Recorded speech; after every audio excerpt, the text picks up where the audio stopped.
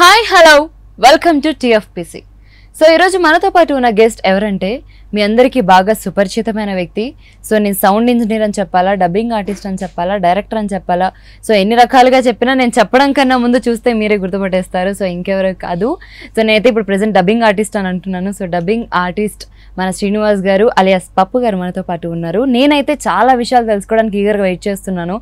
Because ఆయన journey twenty four years జర్నీలో so ఆయన చాలా విషయాలు చూశారు కాబట్టి అవన్నీ అడిగి తెలుసుకుందాం. ఇంకెందుకు ఆలస్యం? హెవీగో హాయ్ సార్ సో ఎలా ఉన్నారు? సో కరోనా టైంలో పీస్ఫుల్గా ప్రశాంతంగా. ప్రశాంతం కదా చాలా బాధగా. బాధగానా? కరోనా కదండి ఇట్ వాస్ కిల్లింగ్ ఆల్ కదండి. ఓకే సో అలా మొత్తానికి ఎనీవేస్ సో మీ జర్నీ చాలా మందికి ఇన్స్పిరేషన్ ఫస్ట్ ఆఫ్ ఆల్ ఇంత మంచి హైట్స్కి వచ్చినందుకు నా వైపు నుంచి congratulations because it's a good journey so first me journey at the age of ఎయిటీన్లో స్టార్ట్ అయిందని విన్నాను. సో ఏంటి? ఎలా అసలు ఫస్ట్ ఫస్ట్ ఎయిటీన్ ఇయర్స్కి మీరు హైదరాబాద్ వచ్చి అది కూడా ఇండస్ట్రీకి వచ్చి సో ఇదంతా ఎలా జరిగింది? బేసికల్గా అండి నా చైల్డ్హుడ్లోనే I lost my family members okay so నేను అప్పుడు డిప్లొమా నా డిప్లొమా ఫినిష్ అయిపోయిన వెంటనే ఎలక్ట్రానిక్స్ అండ్ కమ్యూనికేషన్ ఇంజనీరింగ్లో నా డిప్లొమా ఫినిష్ అయిన వెంటనే జస్ట్ నేను జాబ్ చేస్తూ చదువుకోవాలనుకొని త్రిబుల్ సీకి అటెంప్ట్ చేస్తూ ఐ కేమ్ హీర్ అనమాట అండి ఇక్కడికి వచ్చాను. కొంచెం ఇంకా అప్పటికి అప్పుడు ఈటీవీ అప్పటికే మీడియా ఈటీవీ ఛానల్ రామోజీ గారి ఛానల్ లాంచ్ అయిపోతున్నారు. ఆ టైంలో నేను అందులో జాయిన్ అయ్యాను యాజ్ ఎ టెక్నికల్ అసిస్టెంట్గా. సో అలాగ నా జర్నీ స్టార్ట్ అయింది. ఆఫ్టర్ దట్ అక్కడికి వచ్చిన తర్వాత టెక్నికల్గా అంటే నాకు అది కొత్త ప్రపంచాలు అంటే బేసికల్గా నేను చదివింది ఎలక్ట్రానిక్స్ అండ్ కమ్యూనికేషన్స్ అది Hmm. మీడియా అనేది క్వైట్ డిఫరెంట్ అది. సో అందులో కూడా సో నాకు బాగా నచ్చిన పార్ట్ సౌండ్ అండి. బికాజ్ ఏంటంటే ఆ, నాకెందుకు అందులో చాలా ఇంట్రెస్టింగ్ సబ్జెక్ట్ అనిపించింది. Because there is no limit for the sounds ఎందుకంటే సౌండ్లో ఎప్పుడు నేర్చుకోవడానికి ఇంకా ఉంటానే ఉంటుందండి. విజువల్గా విజువల్ విజువల్ అండ్ సౌండ్ ఎలా పార్ట్ ఉంటుందో సో సౌండ్లో కూడా చాలా వ్యాస్ట్ ఆఫ్ సబ్జెక్ట్ అన్నమాట. అది అది అది- అదొక డిఫరెంట్ థింగ్ అనమాట సో బికాస్ ఆఫ్ దట్ నాకు అది బాగా ఇన్స్పైర్ చేసింది. బాగా ఇన్స్పైర్ చేయడానికి కూడా కారణం ఒక ఒక అప్పట్లో ఈటీవీ లాంచ్ అయిన తర్వాత కొత్తగా సీరియల్స్ అవి జరుగుతున్నప్పుడు టిప్పు సుల్తాన్ అని ఒక ఒక ఇంటర్ అంటే నేషనల్ లెవెల్లో బాగా సక్సెస్ అయిన సీరియల్ బట్ ఈ ఛానల్కి రేటింగ్ లేదు. ఆ సీరియల్కి సో అట్ ద టైమ్ నేను అందులో ఇంపార్టెంట్ క్లైమాక్స్లో ఒక సాంగ్ ఉంటుంది. ఆ సాంగ్ లేకపోతే అది కష్టం అనమాట సో రేటింగ్ లేదు కూడా ఆ సాంగ్ స్కిప్ చేద్దాం అనుకున్నారు. Hmm. సో నియర్లీ నేను nearly ten to fifteen days I spend day and night in the and మాకు షిఫ్ట్ సిస్టమ్ ఉండేదండి. Hmm. సో ఎయిట్ అవర్స్ జాబే ఉండేది. నేను nearly ten to ten to twelve days అండి day and night కష్టపడేసి ఒక track create చేశానండి. So అంటే వితౌట్ వితౌట్ కంపోజిషన్ వితౌట్ ఏం లేకుండా by using the tracks with by by my knowledge on the sound so I created the same as it is track for singing అనమాట because దానికి అప్పుడు IT track లేదండి. Hmm. So అది చూసిన బాపనీడి గారు మాకు అప్పుడు మా గురువు గారు. వివి రావు గారు so he's a very greatest person he's inspired person to all the all the technical department in the media industry అండి. So he's the guru to the technical అనమాట అనమాట ఆయన. ఆయన కానీ సాదేవర కానీ బద్రి ప్రసాద్ గారు కానీ so by all these people support నేను అది చేశాను తర్వాత బాపనీడి గారు చూసి. సో అంటే అంతకాలం నేను ఒక వన్ ఇయర్ వర్క్ చేసినప్పుడు రాని ఒక చిన్న అప్లాజ్ సో టోటల్ కింద నుంచి పై దాకా అందరికీ వచ్చింది. సో దాంతో సౌండ్ అనేది ఒక చిన్న మ్యాజిక్ సో అంటే బేసికల్గా అంటే విజువల్ అనుకోండి బేసికల్గా చిన్న ఎగ్జాంపుల్ చెప్తానండి. నాకు ఒకరు నచ్చొచ్చు ఒక ఒక విజు నాకు ఒక విజువల్ నచ్చొచ్చు అదే ఇంకొకరికి నచ్చకపోవచ్చు. కానీ సౌండ్ మాత్రం కరెక్ట్గా ఉంటే అందరికీ నచ్చింది. సో ఆ కరెక్ట్ సౌండ్ ఇవ్వటమే అందులో సబ్జెక్ట్. సో లైక్ దట్ నాకు సౌండ్ అనేది చాలా ఇంపార్టెంట్ పార్ట్. మన గురించి మనం మన గురించి ఎక్స్పోజ్ కావడానికి సౌండ్ అనేది మేజర్ పార్ట్ అని. సో అప్పటి నుంచి నాకు sound engineer the best engineer అవ్వాలి ఇండస్ట్రీలో. సో నేను ఉన్న Okay. Media ఫీల్డే. So I want to achieve something in the sound. So like that ఇప్పుడు ఇండస్ట్రీకి ఎలా వెళ్ళాలి? ఇండస్ట్రీకి ఎలా అడుగు పెట్టాలి? అదే టైంలో నా లక్ ఏంటంటే అండి నాకు లక్ అంటే అంటే సమ్ టైమ్స్ ఏంటంటే గాడ్ ప్రతి వాళ్ళకి భగవంతుడు ఒక రూట్ ఒక రూట్ పాస్ చేస్తారండి అలాగే నా టైంలో అప్పుడు దాకా లీనియర్ సిస్టమ్స్లో ఉండేది అనలాగ్ సిస్టమ్స్లో ఉండే రికార్డింగ్స్ సెక్షన్ అంతా డిజిటల్ ఫా డిజిటల్గా కన్వర్ట్ అయిపోయిందండి. Non linear systems so first time Suresh Babu garu Sindhuram అనే సినిమాకి ఫస్ట్ అవిడ్ని తీసుకున్నారండి. అప్పుడు దాకా సినిమా ఇండస్ట్రీ అంతా ఏడాట్ మీద ప్రొజెక్ట్స్ మీద అండ్ ఆప్టికల్ మీద డిపెండ్ అయ్యేది ఒక్కసారి డిజిటల్ కన్వర్షన్ డిజిటల్ డిజిటల్ రంగంలో ఎవరైనా సరే ఫస్ట్ ప్రొడ్యూసర్ ఏం చేస్తారు ఫస్ట్ ప్రొడ్యూసర్ డైరెక్టర్ ఏంటంటే కొత్త సిస్టమ్ మీద మనం వెళ్తే మనం చాలా రిస్క్లు ఫేస్ చేస్తామేమో అనే చిన్న ఫీర్ ఒకటి ఉంటుందండి. కానీ సురేష్ బాబు గారు ఫస్ట్ అది దాన్ని తీసుకొచ్చారు ఎవిట్ తీసుకురాగా దాన్ని ఆపరేషన్ చేయడానికి అప్పుడు దాకా అందరూ నాన్ నాన్ లీనియర్ సిస్టమ్స్ మీద అలవాటైన వాళ్ళకి సడన్గా కంప్యూటర్స్ మీద వర్క్ చేయటం అంటే దాని అట్- ఏదైనా ప్రాబ్లం వచ్చినా కూడా నాలెడ్జ్ పర్సన్ ఉండాలి. సో అప్పట్లో లైక్ దట్ ఎవిడ్ ఒకటి సౌండ్స్కేప్ ఒకటి ఒక రెండు సాఫ్ట్వేర్స్ ఉండేవి అనమాట సో ఆ కంపెనీ వాళ్ళతో అడిగితే who is the best in the Hyderabad అంటే Eenadu is using this Avid and ఇవి ది సాఫ్ట్వేర్స్ అందులో మిస్టర్ శ్రీనివాస్ అని ఒకతను ఉన్నాడు. ఇస్ అప్పుడు నన్ను బిఎస్ఆర్ అనేవాళ్ళు అక్కడ. ఓకే సో బిఎస్ఆర్ అని ఉన్నాడు. He's he's strong on all the thing అని మోడీ కార్పొరేషన్ నన్ను సురేష్ బాబు గారు రిఫర్ చేయటం. సురేష్ బాబు గారు నాకు సురేష్ బాబు గారు మూర్తి గారి చేత నాకు కాల్ చేయటం. పప్పు యూ కమ్ అప్పుడు పప్పు గారు సారీ నా Srinivas yeah Srinivas you come నువ్వు ఇక్కడికి వచ్చేసేయి నువ్వు మా దాంట్లో జాయిన్ అవ్వన్నారు సో నాకు ఎక్కడి నుంచో నాకు ఎప్పటి నుంచి ఇంట్రెస్ట్ నాకు లోపల ఇంట్రెస్ట్ కదండి వెళ్ళాలి అనేది. సో ఇదేదో మంచి ఛాన్స్ లాగా ఉంది లక్ అనేది ఇలా వస్తుంది because God will give God అందరికి ఛాన్స్ ఇస్తాడు అది యూటిలైజ్ మనం చేసుకుంటే అదృష్టవంతులు అండి. సో అలాగనే వచ్చిందనుకొని నేను వెళ్ళానండి. వెళ్ళేసి ఒక వన్ మంత్ తర్వాత నా వల్ల కాదు ఇక్కడ పని చేయడానికి బ్యాక్ వచ్చానండి. బికాజ్ ఏంటంటే నెగిటివిటీని నేను నేను చెప్పనండి బేసికల్గా నాకు అది ఇష్టం కూడా ఉండదు. బట్ ఏంటంటే లేదులే అంటే నేను జస్ట్ నాదంతా చిన్న ఏజ్ బట్ ఇండస్ట్రీ అంటే చాలా పెద్దది. అందులో టెక్నీషియన్స్ చాలా పెద్దగా ఉంటారు. సో నా నా- నా- నా మైండ్ సెట్ ఇక్కడ పనిచేయదు అని భయపడి వెళ్ళిపోయాను. అప్పుడు మళ్ళీ సురేష్ బాబు గారు పిలిచి నువ్వు రా. పిలిచి నీ కోసం సపరేట్ థియేటర్ కడుతున్నాను. నువ్వు ఎవరి దగ్గర వర్క్ చేయొద్దు. నీకు ఒక థియేటర్ కడుతున్నాను స్విమ్మింగ్ పూల్ అని. Swimming pool Ramani studio swimming pool ఉంటుంది. సో ఆ థియేటర్ నీకు కడుతున్నాను నీకోసం. నువ్వు వచ్చి వర్క్ చేయండి. ఫస్ట్ ఐఎమ్ అంటే నా జీవితానికి ఫస్ట్ స్టెప్ అంటే నాకు నాకు మదర్ నాకు ఫ్యామిలీ లేకపోయినా ఫస్ట్ రామోజీరావు గారు నాకు ఎలాగైతే నా లైఫ్కి ఒక చిన్న రూట్ ఇచ్చారో like that Suresh Babu garu is the next bone to my life అండి. కానీ మీ ఇద్దరికి అంటే ఫస్ట్ అసలు ఎక్కడ అంటే ఒక ఇంప్రెషన్ ఒక బాండ్ ఎక్కడో చోట క్రియేట్ అవుతుంది. సో ఒక వర్క్ దగ్గర లేకపోతే ఒక పర్సనల్ టాక్ వల్ల ఎక్కడో ఒక చోట. అంటే బేసికల్గా అండి ఒకటి మాట్లాడేటప్పుడు ఎవరితో కాన్ఫిడెన్స్ ఒకటి ఉంటుంది చూసా ఆయన నా కాన్ఫిడెన్స్ ఆయన నచ్చిందేమో నాకు తెలియదండి. ఎప్పుడు అడగలేదా మీరు? సురేష్ బాబు గారితో అంటే కొన్నాళ్ళు అయిపోయిన తర్వాత జర్నీ అయిపోయిన తర్వాత సరే. ఫస్ట్ అసలు నా మీద మీకు ఎలా సార్ నమ్మకం వచ్చింది? అని ఏ రోజు అడగలేదా? లేదండి అంటే నమ్మకం అడగ అడగటానికంటే ముందే ఆయన అన్ని ఛాన్సులు ఇచ్చేవాడండి. సో అంత సపోర్ట్గా ఉన్నప్పుడు ఒక ఎండి ఒక ఎండి ఆఫ్ రామాయణ స్టూడియో అంటే తన తన ఇంట్లో మనిషిలాగా సపోర్ట్ ఇస్తుంటే బికాజ్ ఆల్ ద ఎంప్లాయీస్ కంటే టుగెదర్ అంటే ఆయనకి వర్క్ చేసేవాళ్ళంటే చాలా ఇష్టం అండి సురేష్ బాబు గారికి. హండ్రెడ్ పర్సెంట్ చెప్పిన వర్క్ చేసేవాళ్ళంటే ఆయన కోసం ఏమైనా చేస్తారండి ఆయన. So he's like that gentlemen so ఇతను కష్టపడతాడు. బికాజ్ నేను ట్వంటీ ఫోర్ అవర్స్కి నేను ట్వంటీ అవర్స్ స్టూడియోలో వర్క్ చేసేవాడిని అండి. So the repetition of the theatre ఉంటుంది చూసారండి.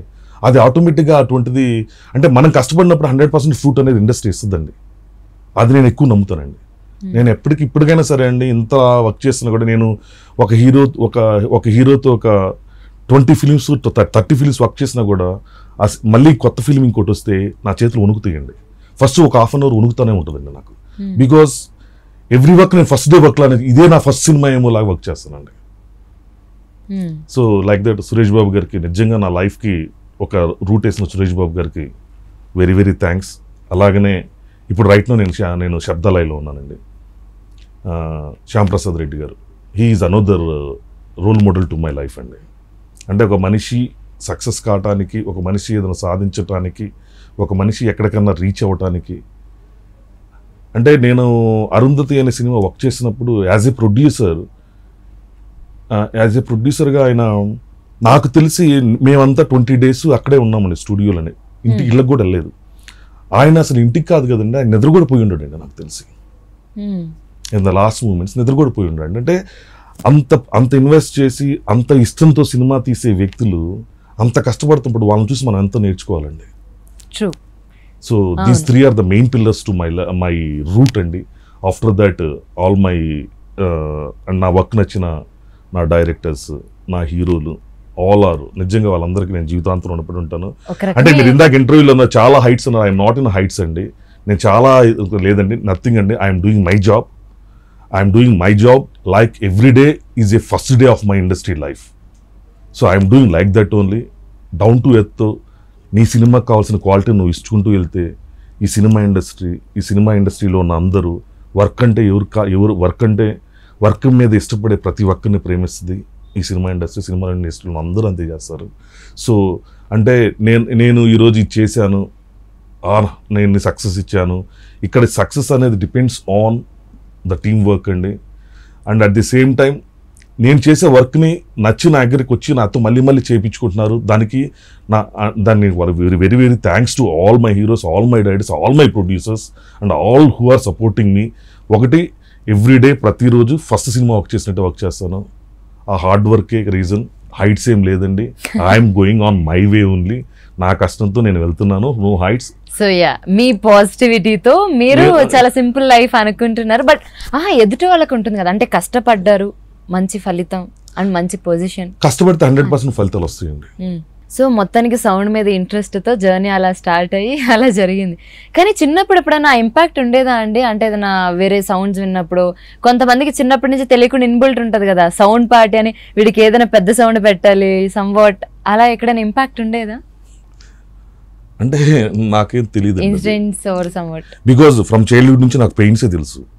సో నాకు ఆ పెయిన్ సౌండ్ తప్పితే ఏం తెలియదు హ్యాపీనెస్ సౌండ్ అంటే రైట్ నో అందరూ ఒక ఒక బిగ్ స్టార్స్ అందరూ ఏ పప్పు ఎలా ఉన్నారా అంటే అదే అది ఆ సౌండ్ నేను వింటున్నాను.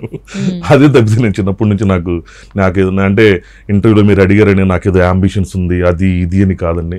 నాకు నాకు నాకు భగవంతుడు ఇచ్చిన వేలు నేను వెళ్తున్నాను. సో అందులో నేను బెస్ట్ ఇవ్వడానికి నేను ట్రై చేస్తున్నాను. అంతే అంతే that's it okay so starting Hyderabad రావడానికి కూడా మీకు ఎవరు హెల్ప్ చేశారు? అంటే ఫ్యామిలీ వైపు నుంచి? యా అంటే నా చిన్నప్పుడు నేను మా మదర్ని లాస్ అయిన తర్వాత మా పెదనాన్న గారు శ్రీరాములు గారు ఆయన సెంట్రల్ ఎక్సైజ్ సూపరింట్ ఆఫీసర్ మా మదర్ వాళ్ళ సిస్టర్ హస్బెండ్ Hmm. సో ఆయన ఆయన నన్ను పెంచారు కొంతకాలము. ఆ తర్వాత సో ఐఎమ్ థ్యాంక్ఫుల్ టు పెదనాన్న. అండ్ uh, అలాగనే మా బాబాయి అంటే ఇంకా ఆయన తండ్రి అయినా ఆయనే ఇంక అన్నీ ఆయనే రాధాకృష్ణ గారు. ఆయన ఇంకా అంటే ఇంకా నన్ను నేను ఈ రోజుకి ఇలా ఉన్నానంటే మా బాబాయి మా పిన్నే కారణం.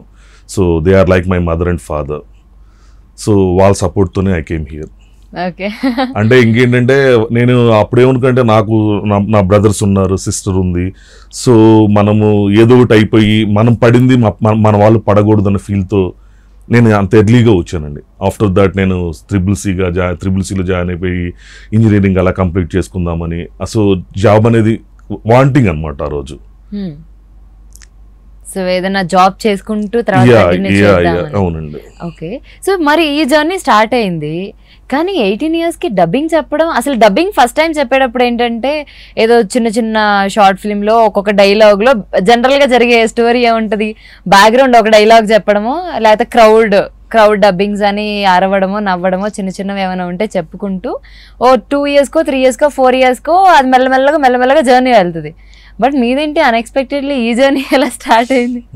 దానికి నిజంగా అండి చాలా అదొక ఆ విషయం గురించి చెప్పేటప్పుడు నేను ఒక హీరో గారి గురించి చెప్పాలి పవన్ కళ్యాణ్ గారు.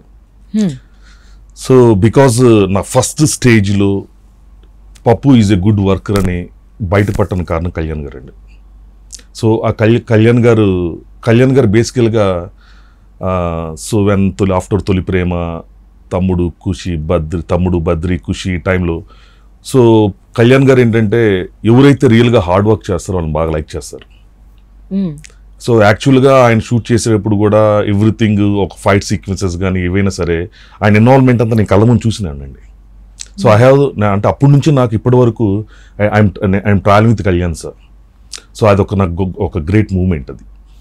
సో నేను ఎందుకు అంత అండర్లైన్ చేసి చెప్తున్నానంటే బేసికల్గా నా హార్డ్ వర్క్ చూసి ఆ ఫైట్ సీక్వెన్స్లో ఏదన్నా తన ఏదన్నా సార్కి కళ్యాణ్ గారికి ఏదన్నా ఆయన టోటల్ అయిపోయిన తర్వాత ఈ మల్టిపుల్ మల్టిపుల్ చూసుకుంటూ ఉంటారు అనమాట సీను వెళ్ళి నువ్వు చెప్పురా అది? అంటే ఆయన ఆయన ఆయన ఇంపార్టెంట్ సీక్వెన్స్ ఫైట్ సీక్వెన్స్ చాలా కాన్సన్ట్రేట్గా ఉంటాడు. ప్రతి మూమెంట్ అండి. అండ్ సౌండ్ డిజైన్లో కానీ ఎవ్రీథింగ్ అండి. సో అప్పుడు పవన్ కళ్యాణ్ క్రియేటివ్ వర్క్స్ అని ఆయన పెట్టేసి సో ఉయా అంటే అందులో కూడా ఒక్కొక్క ఒక్కో డివిజన్లో కొన్ని చాలా ఇష్టపడుతూ బాగా కష్టపడే వ్యక్తులను అలా దగ్గర తీసుకొని ఆయన ఎంకరేజ్ చేసి సో దీనికి బెటర్ సౌండ్ కావాలంటే ఏం చేయాల్సి ఏం చేయాలి? ఇలా చేయండి మీరు ఒకసారి. ఇలా చేస్తే వస్తుందేమో ఒకసారి ట్రై చేయండి. సో ఈ విధంగా చేస్తూ చేస్తూ ఇలా చే జరుగుతున్నప్పుడు అలాగా ఆ ట్రావెల్ ఇలా త- తమ్ముడికి అయింది బద్రీకి అయిపోయింది ట్రావెల్ తర్వాత ఖుషి అనే సినిమా జరుగుతుంది. ఖుషి అనే సినిమా జరుగుతున్నప్పుడు యాక్చువల్గా దానికి ఏం రత్నం గారు ప్రొడ్యూసరు రత్నం గారు యాక్చువల్గా ఎస్జే సూర్య గారు కూడా చెన్నైలో ఉంటారు. సో ఇక్కడ డబ్బింగ్ జరుగుతుంది నా థియేటర్లోనే జరుగుతుంది. అప్పుడు అక్కడ రెగ్యులర్గా రామకృష్ణ గారు సంథింగ్ ఎవరో చేత డబ్బింగ్ చెప్పించారండి రాజన్ పి దేవ్కి. మ్మ్. కళ్యాణ్ గారికి ఏంటంటే every part of the film ప్రతి ఫ్రేమ్ ప్రతి thing even the sound effects or whatever everything పర్టికులర్గా చాలా పర్ఫెక్షన్గా చెక్ చేసుకుంటారు. మ్మ్. ఆయన వచ్చేసి సీను వచ్చినాయి ట్రాక్స్ వచ్చినాయా? అని అడిగారు. యా వచ్చినాయి సార్ చెన్నై నుంచి వచ్చినాయి. సరే నేను వస్తున్నాను ఒక గంటలో వస్తున్నాను ఒకసారి చూద్దాము అన్నారు. ఆయన నచ్చట్లేదు. రాజన్ పి దేవ్ది నచ్చలేదు అనమాట రాజన్ పి దేవ్ గారిది నచ్చకపోతే సో ఇక్కడ లోకల్గా ఉన్న ఆర్టిస్టుల్ని టెస్టులు చేసేయండి రేపు అన్నారు. అలాగా ఒక టెన్ టెస్ట్స్ చేసామండి మ్మ్. సో అవేమీ నచ్చలేదు. కొంచెం ఏదో డిఫరెంట్గా ఉండాలి అంత హెవీగా ఉండకూడదు డిఫరెంట్గా ఉండాలి కొత్తగా ఉండాలి. అయినా నువ్వు చెప్తావు కదా నువ్వు వెళ్ళి చెప్పేసి నేను ఉన్నది that the first experience to నా నా లైఫ్కి టర్నింగ్ అనమాట థ్యాంక్స్ టు కళ్యాణ్ గారు. ఎందుకంటే ఆయన ఒక హీరో గారు లేదు నీలో ఉంది టాలెంట్ నువ్వు చెప్పు నేను కింద నేనున్నాను ఇక్కడ. సో ఆయన ఒక డైరెక్టర్లా కూర్చొని నా చేత పర్సనల్గా చెప్పించి సో బికాస్ ఆఫ్ కళ్యాణ్ గారు ఐ డిడ్ అంటే అప్పుడు నా ఏజ్ కరెక్ట్గా ఎయిటీన్ నైన్టీన్ ఉంటుంది ఆ టైంలో మ్మ్. సో నేను అంత వాయిస్ నాది మ్యాచ్ అయితే నువ్వు చెప్పురా నువ్వు? ఇలాగనే అంటే సరే నేను సరే చెప్పాను ఆఫ్టర్ దట్ చూసావా? చాలా బాగుంది. సో ఎర్లీ మార్నింగ్ చెప్పు. ఇంకొంచెం బేస్ ఉంటుందని ఇది సో యాడ్ మ్యాచ్ మ్యాచ్ అవుతుంది. సో నువ్వు నాకు నాకు నాకు నాకు చెప్పేసి రేపు. రేపు ఇలాగే ఇదే ఎక్స్ప్రెషన్తో నువ్వు రేపు మళ్ళీ మార్నింగ్ చెప్పేసి మ్మ్. సో లైక్ దట్ అలా జర్నీ స్టార్ట్ అయింది బికాస్ ఆఫ్ కళ్యాణ్ గారు. అంత సపోర్ట్ చేయటం వల్ల ఆఫ్టర్ దట్ నేను ఆదిలో వీళ్ళకి చెప్ ఆదిలో తన కంటిన్యూ ఆది ఒక్కడు దిల్ ఆర్యా ఇలా సో మెనీ ఫిలిమ్స్ రీసెంట్గా అలా వైకుంఠపురంలో సముద్ర గనికి కూడా చెప్పాను. అలాగే more than hundred hundred more than ఫిలిమ్స్కి నేను డబ్బింగ్ చెప్పడానికి ఒక డబ్బింగ్ ఆర్ట్ అంటే సౌండ్ ఇంజనీర్గా ఉన్న వ్యక్తిని డబ్బింగ్ ఆర్టిస్ట్గా మారటానికి కారణం Kalyan garu. So thanks for your support Kalyan garu. ఆయన అంటే కళ్యాణ్ గారి గురించి చెప్పాలంటే వెరీ వెరీ నిజంగా కష్టపడే వ్యక్తులు ఎవరైనా ఉంటే ఆయన ఏమైనా చేస్తారండి మ్మ్. ఆయన అంటే Supportive ఎందుకంటే. Supportive very very supportive person సంబంధం లేని వాళ్ళకి చేసే వ్యక్తి తనకు తెలిసిన వాళ్ళు తన వర్క్ తన తన తన వాళ్ళకంటే ఏమైనా చేస్తారు బికాస్ ఆఫ్ కళ్యాణ్ గారు నిజంగా డబ్బింగ్ సినిమా ఈ- ఈ వంద సినిమాల పైన డబ్బింగ్లకి నేను ఒక సినిమాకి ఒక యాభై వేలు తీసుకుని ఉంటాను సో మినిమం ఇంత ఇంత ట్రావెల్లో ఇంత మనీ నేను ఇంత నేను నా కుటుంబం నా కుటుంబాన్ని నేను ఇవ్వగలిగాను అంటే నాకు నేను నేను నేను చెప్పగలిగానంటే ఈరోజు నేను ఇంత హ్యాపీగా ఉండగలిగానంటే డబ్బింగ్ కూడా ఒక పార్ట్. దానికి రీజన్ కళ్యాణ్ గారు. నా సినిమా ట్రావెల్లో కూడా నేను చెప్పే కదా త్రీ పిల్లర్స్ ఎలాగైతే నాకు లైఫ్ ఇచ్చారో the May another major pillar is Kalyan garu. Hmm. So after that ఇంకా అలాగా ఇప్పటికి dubbing journey start dubbing journey start అయింది. అలా అలాగా శ్రీనివాస్ గారి పేరు నుంచి పప్పుకి ఏం జరిగింది బ్యాక్గ్రౌండ్ స్టోరీ బ్యాక్గ్రౌండ్ స్టోరీ అంటే యాక్చువల్గా శ్రీనివాస్ అనే వాళ్ళు చాలా మంది ఉంటారు కదా. అందుకని పప్పు అని పెట్టారు అనుకుంటారు. యాక్చువల్గా దానికి ఒక డిఫరెంట్ స్టోరీ ఉంది. So that's not at all right to discuss also but ఏంటంటే ఇట్స్ ఓకే ఒక షార్ట్గా మేము తెలుసుకోనుకున్నాం సో ఫస్ట్ అనగానే అంటే శ్రీనివాస్ గారు పప్పు గారు అంటే నిక్ నేమ్ పెట్టేటప్పుడు కూడా అట్లీస్ట్ మనం సింక్ చూస్తాం కదా. ఈ పేరుకు తగ్గట్టు. సరే ఒక డిఫరెంట్ నేమ్స్ ఎలా వచ్చాయని? ఒక ఇన్సిడెంట్లో చిన్నపిల్లలు ఏడ్చాను అందుకే పప్పు అన్నారండి. ఆ ఇన్సిడెంట్ మాకు తెలియాలి. ఏం లేదు జస్ట్ మామూలుగా జస్ట్ అంటే ఊరిక జస్ట్ అంటే ఫన్నీ ఫన్నీగా ఉండ థింగ్స్ నుంచి జరుగుతుంది నేను- నేను యాక్చువల్గా పప్పుని పప్పు పప్పు అంటూ ఉంటాను. సో అలాగా ఇంత పప్పులాగా ప్రతిదానికి చిన్న చిన్న పిల్లవాళ్ళ బిహేవ్ చేస్తా. అంటే నేను చిన్న పిల్లాడిని అప్పటికి. సో లైక్ ద శ్రీనివాస్ వద్దులేరా పప్పు అయితే బాగుంటుందని అందరూ ఆ పప్పు అని పెట్టేశారు. సో అప్పటి నుంచి ఇప్పటిదాకా ఇంకా మా ఇంట్లో కూడా నా పిల్లలు కూడా శ్రీనివాస్ అంటే తెలియదండి. పప్పు అని అంటారండి నన్ను కూడా. నా నేమ్ నాకేం నేనే మర్చిపోయి స్టేజ్కి వచ్చానండి బట్ అది బాగా కలిసి వచ్చి ఉంటుంది మీకు చీచి లేదండి. అంటే కలిసి రావటం కల అంటే అది ఏం నథింగ్ అండి. ఎందుకంటే అప్ అండ్ డౌన్ ఫ్లక్చువేషన్స్ లైఫ్లో చాలా చూస్తూ ఉంటాము. కలిసి వచ్చేది కలిసి అది ఈజ్ అ ఫేట్ అండి. మనం ఏం చేయలేము అది. ఆ పేరు వల్ల కలిసి వచ్చింది నేనేమన్నా. బట్ నేను మనం చేసే వర్క్ అందరు మనం లవ్ చేసే ఫీలింగ్ అంతే. సో ఓన్లీ పాజిటివిటీ ఓ పాజిటివిటీ అండి అంతే. సింపుల్. థింగ్ సో ఓకే ఈ రెండు జర్నీస్ గురించి తెలుసుకున్నాం. బాగుంది. ఎందుకంటే రెండు కొంచెం రిలేటెడ్ ఫీల్డ్సే కాబట్టి. సో మీరు అక్కడ సౌండ్ ఇంజనీర్గా చేసేటప్పుడు డబ్బింగ్ ఆర్టిస్ట్ అయ్యారు. రిలేటెడ్ ఫీల్డ్స్ ఓకే ఈ జర్నీలో డైరెక్టర్ అనేది అసలు సంబంధం లేని ఆస్పెక్ట్ అంటే మనం ఎక్స్పెక్ట్ చెయ్యం. అసలు చాలా రేర్గా వింటాం. అంటే ఒక డబ్బింగ్ ఆర్టిస్ట్ అండ్ ఒక సౌండ్ ఇంజనీర్ ఇలా డైరెక్టర్గా ఎంట్రీ ఇస్తున్నారు అని చాలా రేర్గా వింటాం. దీని మీద ఇంట్రెస్ట్ బీజం ఎప్పుడు స్టార్ట్ అయింది? సో ఈ బిఫోర్ దట్ చెప్పాలంటే బేసికల్గా దాని గురించి చెప్పాలంటే మీరు ఇందాక అన్నారు చూసారా లక్ అని. లక్ దొరికిద్దని ట్రై చేశానండి దొరకలేదండి. అరే మూసుకొని పని నువ్వు చేసుకోరా అని చెప్పింది అనమాట నాకు ఇండస్ట్రీ సో. ఇఫ్ నేను ఇవ్వాలనుకుంటే నేనే పిలిచిస్తాను నువ్వు ఊరకు పరిగెత్తకు అని చెప్పిందండి.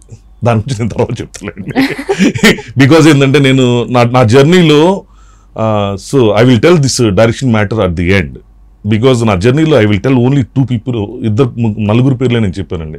సో నా జర్నీకి నాకు ఇంత సపోర్ట్కి నా పిల్లర్స్కి నా పిల్లలు ఇంకా చాలామంది ఉన్నారండి. ఒక మహేష్ బాబు గారు ఉన్నారు.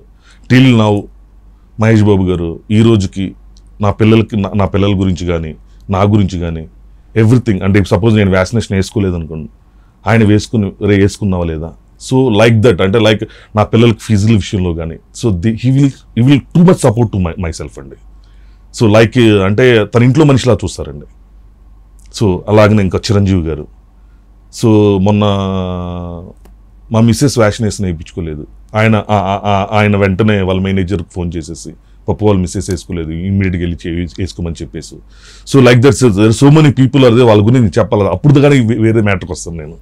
బికాస్ ఏంటంటే ఆల్ దీస్ పీపుల్ ఒక ఒక ఎన్టీఆర్ గారు కానీ ఒక బన్నీ గారు కానీ ఒక నాని గారు కానీ ఒక నితిన్ గారు కానీ సో ఒక Saidharam Tej or Varun so so so so so many so many people are there ఒక త్రివిక్రమ్ గారు ఒక కొరటాల శివ్ గారు అండ్ ఒక కృష్ణవంశీ గారు ఒక. Ram Gopal Varma garu. Because all these all these people సపోర్ట్తోనే ఈ రోజు ఈ స్టేజ్ ఉన్నాను. Srinu Vaitla garu so there are so many people in my life అండి. నా ట్రావెల్లో నాకు హెల్ప్ చేసిన అంటే నేను అంటే నథింగ్ అంటే నథింగ్తో వచ్చిన వ్యక్తిని అలా నుంచోబెట్టేసి బతుకురా అని అని వర్క్ ఇచ్చిన వ్యక్తుల్ని వాళ్ళని మనం మర్చిపోకూడదు జీవితంలో. సో నా అంటే డైరెక్షన్ గురించి మీరు ముందే చెప్తున్నారు కాబట్టి నేను ఎందుకు చెప్తున్నా అంటే మీరు అన్నారు చూసారు లక్ అని కాదు నా బలుపుతో వెళ్ళాను మళ్ళీ బాల్ వెనక్కి వచ్చింది అందుకే కాము కూర్చొని నా పని నేను చేసుకుంటున్నాను. కాదు. ఎవరైనా అంటే ఫస్ట్ సినిమా తీసినప్పుడు నేను చాలా విషయాలు నేర్చుకున్నాను. సో నెక్స్ట్ ఇంకొంచెం స్ట్రాంగ్ స్టెప్తో వెళ్దాం అనుకుంటున్నాను. ఇలాంటివి వింటాం కదా. సో ఇన్ జనరల్ థింగ్స్ అంటే నేను అందరికి కావాల్సిన వాడినండి. సో నేను అలాంటి తప్పులు చేయకూడదని నాకు తెలుసుకున్నాను. ఓకే సో ఈ ఈ ఆస్పెక్ట్లోకి నేను కూడా వస్తాను. ఎందుకంటే దీనికి ముందు నిజంగానే మనం ఇంకా చాలా మాట్లాడాలి అయితే. సో అంటే ఇప్పుడు ఇంతమంది డైరెక్టర్స్ హీరోలు అందరూ ఒక ఫ్యామిలీ లాగా ఒక ఫ్యామిలీ పర్సన్ లాగా చూస్తున్నప్పుడు మామూలుగా మనం ఎప్పుడూ ఒకటి వింటూ ఉంటాం. ఇండస్ట్రీలో ఈగో యాటిట్యూడ్ జలస్ అనే ఫీలింగ్స్ జనరలైజ్డ్గా ఉంటాయని that that's not about human అంటే ఇప్పుడు వాళ్ళతో క్లోజ్గా ఉంటున్నారని ఒక పాజిటివ్గా ఫీల్ అవ్వడము లేకపోతే వీళ్ళతో ఎక్కువ మాట్లాడుతున్నారు వీళ్ళని ఎక్కువ కలుస్తున్నారు ఇవి ఎక్కడో ఒక చోట వింటూ ఉంటాం. బట్ ఇవన్నీ ఏమీ లేకుండా అందరూ నా ఫ్యామిలీ అందరి ఫ్యామిలీస్లో నేను ఒక పర్సన్ లాగా ఉన్నాను. సో ఇంత మంచి బాండ్ ప్రతి ఒక్కళ్ళతో రైజ్ అవ్వడానికి అసలు రీజన్ ఏంటంటారు? హార్డ్ వర్క్ అండి. ఇప్పుడు సింపుల్ మీరు అన్నారు చూసారా? ఈగో ఏదో ఇండస్ట్రీలో ఈగో ఉంటుంది అది ఉంటుంది ఇది ఉంటుంది ఒకరంటే ఒకరు పడదు ఇవన్నీ ఇవన్నీ బుల్షిట్ అండి నా దృష్టిలో. ఇవన్నీ లిటరలీ బుల్షిట్ సింపుల్ చెప్తాను మీ ఫ్యామిలీలో మీ- ఫ్యామిలీలో మీ- ఫ్యామిలీ మీ ఫ్యామిలీ ఫ్యామిలీ ఉన్నారు కదా? మీ ఫ్యామిలీలో మీకు సిస్టర్స్ కానీ కజిన్ సిస్టర్స్ ఎవరైనా ఉన్నారా? మ్మ్. ఉన్నారా? మీరు పెద్ద యాంకర్ అయిపోయారు. మీరు పెద్ద సెలబ్రిటీ అయిపోయారు. ఈగో ఉండొచ్చు వాళ్ళకి లైట్ ఈగో ఉండొచ్చు. అరే నేను ఎందుకు కాలేదు అని ఈగో ఉండొచ్చు. అంత అంత మాత్రాన? అది అమ్మాయి నీ సిస్టరే కదండి? మ్మ్. నువ్వంటే ప్రేమ ఉంటుంది కదండి. మీకు ఆవంటే ప్రేమ ఉంటుంది కదండి. దట్స్ ఎ ఫేట్ అండి అది. దట్స్ ఎ ఫేట్ ఈ ఈగో ఉంటుంది ఏంటంటే ఊరికి బయట వాళ్ళు చెప్పేవండి సో డెఫినెట్గా మనం ఎందుకు కాలేదు మనం మనం కూడా కావాలనే ఆలోచన ఉంటుందేమో తప్పితే సో ఇవన్నీ రాంగ్ అని నా ఫీలింగ్ అండి. ఓకే సో ఇవన్నీ ఎప్పుడు పట్టించుకునేంత నథింగ్ అండి. బికాజ్ మనం మన కోసం మన మనల్ని నమ్మి సినిమా ఇస్తారు. ఆ సినిమాకి మనం ఏం చేయాలి? మనం ఎంత మంచి క్వాలిటీతో ఇవ్వాలి? That is my motive okay so అది నచ్చింది కాబట్టి దే విల్ లైక్ మీ. ఎందుకంటే when I'm doing first film they are working with me when I'm doing నేను ఇరవై సినిమాలు చేసిన తర్వాత కూడా నేను చేస్తానంటే అలాగా చేస్తున్నాను కాబట్టి నా దగ్గర చేస్తున్నాను తప్పితే నేను ఫస్ట్ సినిమా చేసిన మనిషిలాగానే ఇప్పుడు టెన్త్ ఫిల్మ్ చేస్తున్నాను ట్వంటీ ఎయిత్ ఫిల్మ్ చేస్తున్నాను హండ్రెడ్ ఫిల్మ్ చేస్తున్నాను అంటే నా నా వేలో నా క్యారెక్టర్లో నా మూడ్లో నా యాటిట్యూడ్లో నేను చేసే సిన్సియారిటీలో నా వర్క్లో ఎటువంటి డిఫరెన్స్ వేరియేషన్ లేదు కాబట్టి they are coming and doing. So నాకు నా- నాకు చెప్పేది నేను ఇప్పుడు వాళ్ళు క్లోజ్గా ఉన్నారు నేను క్లోజ్గా వాళ్ళు మనకి మనకి ఆఫర్ ఇచ్చారు. అది వాళ్ళు నాకు వాళ్ళు నాకు అవకాశం ఇచ్చారంటాను తప్పితే నాకు ఆఫర్ ఇచ్చారంటాను. నా కోసం వచ్చారని నేను ఎప్పుడు అన్ను. నాకు ఆఫర్ ఇచ్చారు అంతే. పప్పు ఇంకా యాక్టివ్గానే వర్క్ చేస్తున్నాడు కాబట్టి ఆఫర్ ఇచ్చాడు. ఆఫర్ ఇచ్చారు సారీ. సో ఎవరైనా ఒక ప్రొడ్యూసర్ గారైనా ఒక డైరెక్టర్ గారైనా ఒక హీరో గారైనా so why they will come only for their film quality. ఆ ఫిల్మ్ క్వాలిటీకి వీడు ఇంకా కష్టపడుతున్నాడా లేదా? అలాగనే ఉంటున్నాడా? అలాగే సిన్సియర్ వర్క్ చేస్తున్నాడా? అంతే కాన్సన్ట్రేట్గా ఉండాడా? So if you have that concentration డెఫినెట్గా అందరూ మన దగ్గరికే వస్తారు. సో నేను అదొకటే నమ్ముతానండి. ఇంకా దేన్ని నమ్మను. నేను ఇంకా బెటర్గా ఎలా ఇవ్వాలి అవుట్పుట్ ఇంకా బెటర్గా ఎలా చెప్పించాలి? ఎందుకంటే అండి సినిమాలో అందరు టెక్నీషియన్స్ వర్క్ చేస్తారు. అల్టిమేట్గా ఒక హీరో గారు ఉంటారండి. ఆయనకు తెలుసండి. ఆయన సినిమాకి ఏం కావాలో ఆయనకు తెలుసు. ఓ డైరెక్టర్ గారు ఉంటారండి. ఆయన సినిమాకి ఏం కావాలో ఆయనకు తెలుసు. ఒక captains of the technique technical departments వాళ్ళు. సో ఆయన ఇంతకు ముందు సినిమాకి ఎలా చెప్పాను? ఆ క్వాలిటీ ఏంటి? ఇప్పుడు ఈ సినిమా క్వాలిటీ ఏంటి? ఇక్కడ చేయటం వల్ల క్వాలిటీ పెరుగుతుందా? తగ్గుతుందా? బెటర్గా వస్తుందా? సో ఇప్పుడు సపోజ్ కొంతమంది పెద్ద పెద్ద డైరెక్టర్లు ఉంటారు. వాళ్ళు మనకు ఫిల్మ్ అప్ చెప్తారు. ఆ ఫిల్మ్ అప్ చెప్తున్నప్పుడు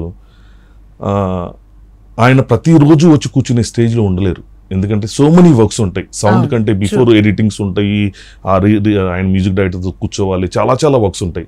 సో తనకి నమ్మకమైన ఒక వ్యక్తి నుంచి కొంత కొంత కొంత వర్క్ని బర్డెన్ని తగ్గించే పర్సన్ కోసం వెయిట్ చేస్తూ ఉంటారు ఎవరైనా సరే. సో పలానా వ్యక్తి దగ్గరికి వెళ్తే నాకు బుక్ కరెక్షన్ రావు నాలుగైదు కరెక్షన్లే ఉంటాయి అనే నమ్మకాన్ని మనం క్రియేట్ చేయగలిగితే అక్కడే మనం సక్సెస్ అవుతాం. సో ఒక మంచి- ఎస్. సో ఆయన ఆయన- ఆయనకి నచ్చిన విధంగా మనం ఎలా చెప్పించగలం మనం ఎలా చేస్తే నచ్చుతుంది? అంటే ఒక ఒక వ్యక్తి దగ్గర అది- అది- నాకు అదే అదే వీళ్ళు నేర్పారు. ఎవ్రీ సినిమాకి నాకు నేర్పేది? ఈ హీరోలు డైరెక్టర్లు హీరోలు అందరూ డైరెక్టర్లు అందరూ హీరోలు డైరెక్టర్లు గారు అందరూ నాకు నేర్పేది ఏంటంటే ఓన్లీ దిస్ హ్మ్. అంటే వాళ్ళు వాళ్ళ నుంచి మనం నేర్చుకుంటున్నాం ఎవ్రీడే నేర్చుకుంటున్నాము. అది అర్థం చేసుకుంటే ఆ సబ్జెక్ట్లో చాలా లావిష్నెస్ ఉంటుందండి. అర్థం చేసుకోకపోతే అందరూ చేసేది అదేనండి. ఒక సాఫ్ట్వేర్ ఇంజనీర్ ఉంటారండి మా కజిన్ ఉన్నాడు software engineer. Is a head of head అనమాట ఏం చేస్తారండి? ఫస్ట్ డే కోడింగ్ ఏదో చేస్తున్నట్టు తర్వాత ఇంకో ప్రాజెక్ట్ సేమ్ కోడింగే చేస్తారండి. చిన్న చిన్న టెక్నికల్ వేరియేషన్స్ ఉంటాయండి అంతే. సో పెద్ద పెద్ద డిఫరెన్స్లు ఏమి ఉండవు కానీ అలానే ఉంటుంది లైఫ్. లైఫ్ అనేది అందులోనే. ఇన్నోవేటివ్గా చేయటంలోనే గొప్పతనం ఉంటుందండి. బట్ ఇప్పుడు డైరెక్టర్స్ అవ్వచ్చు హీరోలు అవ్వచ్చు. సో ఒక్కొక్కళ్ళు ఒక్కొక్క థీరీస్ ఫాలో అవుతూ ఉంటారు. ఇప్పుడు డైరెక్టర్స్ వచ్చినప్పుడు మీ దగ్గర చెప్పించుకునేటప్పుడు ఒకళ్ళు అంటే కొంతమంది కొన్ని కొన్ని చోట్ల వింటాం కదా ఈయన డబ్బింగ్కి వచ్చారంటే చాలా స్ట్రిక్ట్గా సీరియస్గా కూర్చుంటారు డబ్బింగ్లో అరుస్తారని. సమ్వాట్ ఇలాంటి ఒక్కొక్కళ్ళు ఒక్కొక్క థీరీ ఫాలో అవుతారు అని అనుకుంటూ ఉంటాం. కొంతమంది నార్మల్ డబ్ నార్మల్ డబ్బింగ్ ఆర్టిస్టులు అయితే కొంత మెయిన్ లీడ్స్ వరకే ఉంటారు డైరెక్టర్స్ సో మిగిలిన ఏడీస్ మీద అంటే అదే అదండి వదిలేస్తారు. బేసికల్గా థింగ్ ఏంటంటే మీరు నా చూసారా స్ట్రిక్ట్గా ఉంటారు ఎన్ని ఉంటారు. ఏంటంటే కొన్ని కొన్ని వందల కోట్లు పెట్టి సినిమాలు చేస్తున్నారు. వాళ్ళకి కావాల్సిన ప్రొడక్ట్ కోసం చేస్తారు. జస్ట్ మీరు నమ్ముతారు మీ అందరికి తెలిసిన తెలిసిన తెలిసిన థింగే just one eighty minutes of the film కోసం. ఎన్ని రోజులు పని చేస్తున్నామండి మనం. Two hundred hundred to two hundred shooting చేస్తున్నారు. అంటే two thousand four hundred four hundred hours work చేస్తున్నారు. అవుట్పుట్ దే అంతకోసం అండి. Just two and half hours output కోసము. సో అంత కష్టపడాలండి. మీరు అన్నారు చూసారా లేదు కొంతమంది పలా ఒక వ్యక్తి లోపల నుంచి చాలా స్ట్రిక్ట్గా ఉంటారు అరుస్తారు రాకపోతే బాగా హెరాస్ చేస్తారు. ఏమవుద్దంటే అండి ఒక పది ఇరవై ముప్పై సినిమాలు చెప్పిన తర్వాత ప్రతి వాళ్ళు ఏంటంటే మేము తోపులు అనుకుంటారు మాకు అన్ని వచ్చేసినాయి మేమన్నీ చెప్పగలం మా చేత అన్ని మూరులు చెప్పిస్తున్నారు అనుకుంటారండి కాకపోతే ఎందుకు వాళ్ళు అడుగుతున్నారని అర్థం చేసుకుంటే అది అర్థమవుద్దండి. హ్మ్. అర్థమైందండి. సో ఒక్కోసారి ఈజీగా చెప్పేయచ్చు క్యాటర్న్ క్యాటర్న్ బట్టి ఒక్కోసారి ఈజీ కొంచెం టిపికల్ అవ్వచ్చు. కానీ క్వాలిటీ కోసం ట్రై చేస్తున్నారు దానికి తగ్గట్టు మనం రెమ్యునరేషన్ తీసుకుంటున్నాము వాళ్ళు చెప్పిందే మనం చెప్పాలి అని ఆలోచించాలండి. ఫర్ ఎగ్జాంపుల్ చెప్తాను సీనియర్ డబ్బింగ్ ఆర్టిస్ట్ గురించి చెప్తానండి. రవిశంకర్ గారు. బొమ్మాలి రవిశంకర్ గారు అంటారు. ఆయన రీసెంట్ నేను ఉప్పెన్లో చెప్పించామండి ఏ సినిమాకైనా సార్ ఒక అథారిటీ దారి ఉందండి అందులో బొమ్మని రానికి చెప్పారు. యాక్చువల్ రవిశంకర్ గారు అనే వ్యక్తి ఉదయం వస్తే సాయంత్రం ఎంత పెద్ద సినిమా అయినా ఎన్ని క్యారెక్టర్లు చెప్పేసి వెళ్ళిపోతారు. ఆ బొమ్మని రానికి నేను టూ డేస్ చెప్పించానండి. అంటే అంత పెద్ద అతను కూడా ఒక చిన్న ఫీల్ ఆలోచిస్తాడు. "అరే, ఎందుకు అడుగుతున్నారు వీళ్ళు? ఏది ఆ సెన్సిటివ్ పాయింట్ అక్కడికి వెళ్ళాలి మనము. అరుంధతి అనే ఫిల్మ్ ఉంది. Thirty five days చెప్పించామండి more than thirty days the result ఏమైందండి? అప్పుడు దాకా బొమ్మ అప్పుడు దాకా నార్మల్ రవిశంకర్ పెద్ద బొమ్మలే రవిశంకర్ అయ్యారు కదండి. ఐ నో ద ఫ్యాక్ట్స్ అండి.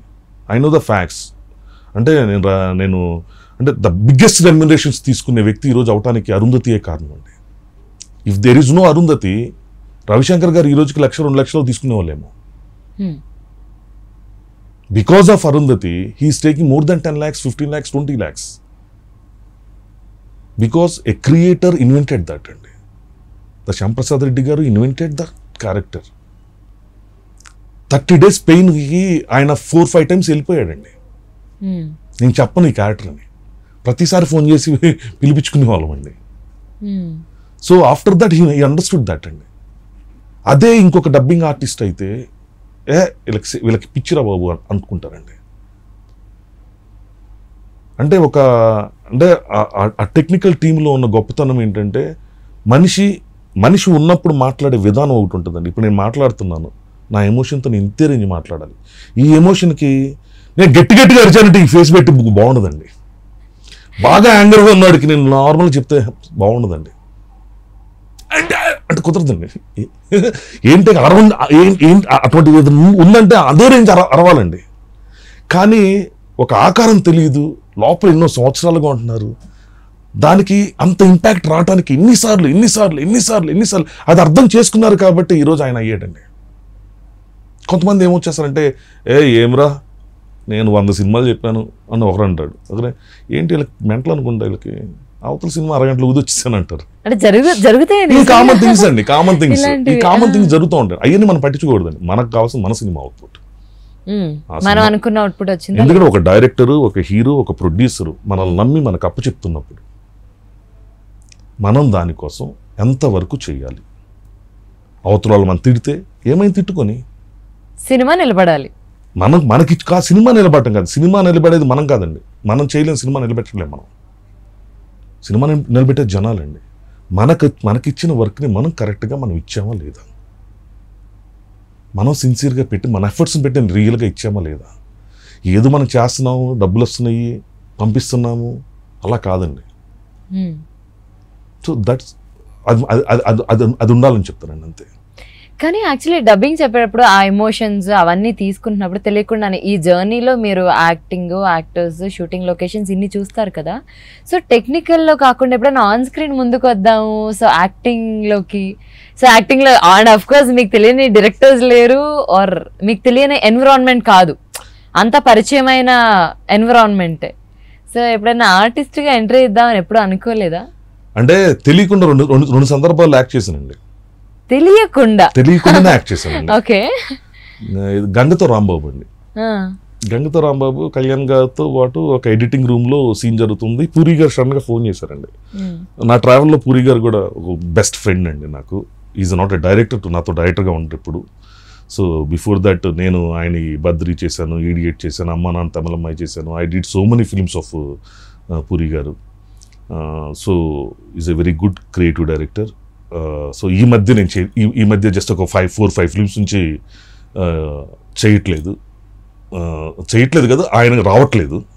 I don't know the reasons so అవి తీసేస్తే ఇంకా నెక్స్ట్ కట్ చేస్తే ఆయన గంగతో రాంబాబు జరుగుతున్నప్పుడు ఆమ్, రోజు సడన్గా కాల్ వచ్చింది. ఆ, శివ పప్పు ఎక్కడ ఉన్నావు అంటే సేమ్ వర్క్ ఈజ్ హ్యాపెనింగ్. నా దగ్గర డబ్బింగ్ జరుగుతుంది. ఎక్కడ ఉండవు పప్పు అంటే ఇలా డబ్బింగ్లో ఉన్నానంటే డబ్బింగ్ ఆపేసి అర్జెంటుగా పద్మలాయికి రా అన్నారు. ఏ అన్నారు లేదు రా అన్నారు రాంగ్ వెళ్ళం కూర్చోకుండా మేక మేకప్ వేశారు. మేకప్ వేసి ఏంటంటే లేదు లేదు కళ్యాణ్ గారు బ్రహ్మానంద గారు ఒక చిన్న ఎడిటింగ్ రూమ్లో ఉంది. సిస్టమ్స్ ముందు కూర్చునేది. ఆ సీన్లు నువ్వు యాక్ట్ చేయన్నారు. సో అది అన్ఎక్స్పెక్టెడ్గా యాక్ట్ చే యాక్ట్ చేసిన థింగ్ అండి అది. ఆఫ్టర్ దట్ బన్నీ గారు గుణశేఖర్ గారి ఫిల్మ్ ఉంది కదండి మన రుద్రమదేవి. సో బన్నీ గారికి లాంగ్వేజ్ తెలంగాణ మాండలికం కోసము సో ఒక ఒక వ్యక్తి కావాలంటే నేను చేవల రవి అని మా డబ్బింగ్ ఆర్టిస్ట్ ఒక ఆయన ఇప్పుడు బిత్తిల్ సెత్ అంటారు కదా. సో అతను తీసుకుని మేము అక్కడ ఎలా మాండలికం రూరల్లో ఎలా ఉంటుంది ఇవన్నీ ప్రాక్టీస్ అంతా బిఫోర్ దట్టే తను చాలా గ్రౌండ్ వర్క్ చేస్తారు బన్నీ గారు మ్మ్. సో అలాగా స్టూడియోలో జరుగుతున్నప్పుడు ఎందుకు ఓ రోజు సడన్గా వికారాబాద్ వచ్చేయమని ఫోన్ వచ్చిందండి. ఎందుకంటే లేదు ఒక సామంతరాజు క్యారెక్టర్ ఉంది వచ్చి నువ్వు చెయ్యాలి రమ్మన్నారు అంటే ఏ లేలే ఊరుకోండి. లేదు లేదు రమ్మన్నారు నువ్వు బయలుదేరా నేను బాబు నేను బన్నీ గారికి నా రాలే వద్దని చెప్పలేమని వాళ్ళ మేనేజర్ అన్నారు బన్నీ గారికి చెప్పలేము రమ్మన్నారు అంతవరకే బయలుదేరి రమ్మన్నారు బయలుదేరి వచ్చేయమన్నారు వెళ్ళాను చేసాను వచ్చానండి. ఈ రెండేనండి ఆ తర్వాత అంటే మనకి తెలియకుండానే మనం ఒకసారి చేసినప్పుడు కొంచెం ఈజినెస్ వచ్చేస్తుంది చేద్దాము ఓకే మనం ఇంక కొంచెం చెయ్యొచ్చు అని ఇంట్రెస్ట్ పెరిగిద్ది మన పని కాదు కదండి అది. మనం చేయాల్సింది చాలా మన మనం కాదండి మన మన అంటే అది నా పని కాదు మేబీ నాకు తెలియదు రేపు పొద్దున ఎవరైనా నిజంగా ఇలాగనే సడన్గా ఎవరైనా చేస్తే మనకు తెలియదు కానీ యాక్చువల్గా అవి మనకు తెలియదండి. మనం మనం నాకు నాకు ఆ ఫీలింగ్ ఇంతవరకు రాలేదండి. నాకు రాదు కూడా. నేను తెలియకుండానే వచ్చాను ఇండస్ట్రీకి తెలియకుండానే అవుతున్నాను తెలియకుండానే అయ్యాను. బట్ నాకు లోపల ఒకటి ఏం చేసినా మంచిగా చేయాలని ఫీలింగ్ ఒకటి ఉంది. సో ఐ డోంట్ నో అదే ద థింగ్ నాకు అటువంటి దాని మీద లేదండి. ఓకే సో ఎవరు తెలుసండి? You don't know next day కదండి. Every day hope the next day is good అని అంతే. ఓకే సో ఈ హార్డ్ వర్క్ పాజిటివిటీ ఇదంతా బాగుంది జర్నీ బాగుంది. కానీ ఇప్పుడు మనం జనరల్గా లాంగ్వేజ్ అనేది స్లాంగ్ మెయిన్లీ. సో స్లాంగ్ యాస అంటాము. సో యాస అనేది ఏంటంటే చాలా ఇన్బుల్ట్ చిన్నప్పటి నుంచి చూస్తేనే ఆ యాస నా చాలా న్యాచురల్గా ఉంటుందని చాలామంది నమ్ముతారు. సో మన మీరు ఏపీలో పుట్టి రాయలసీమ తెలంగాణ ఈ యాసలు అన్నిటి మీద పట్టు రావడానికి కారణం ఏంటంటారు? ఎక్స్పీరియన్స్ అనుకుంటున్నాను నేను. ఎక్స్పీరియన్స్ అండి జస్ట్ అంటే విని. విని ప్లస్ మనం తిరిగే ఫ్రెండ్ సర్కిల్స్లో వాటర్ బికాజ్ ఆది ఉంటుంది ఆదిలో పక్కా రాయలసీమ రాయలసీమ సో నేను నిజంగా వన్ ఆఫ్ ద నాకు మంచి థింగ్ అనమాట అది. ఆ ఎక్స్పీరియన్స్ కూడా మంచి ఎక్స్పీరియన్స్ ఆదిది కూడా ఆది ఫిల్మ్ది. నేను చెప్తున్నప్పుడు చాలా ప్రౌడ్గా ఫీల్ అయిపోయామండి నేను.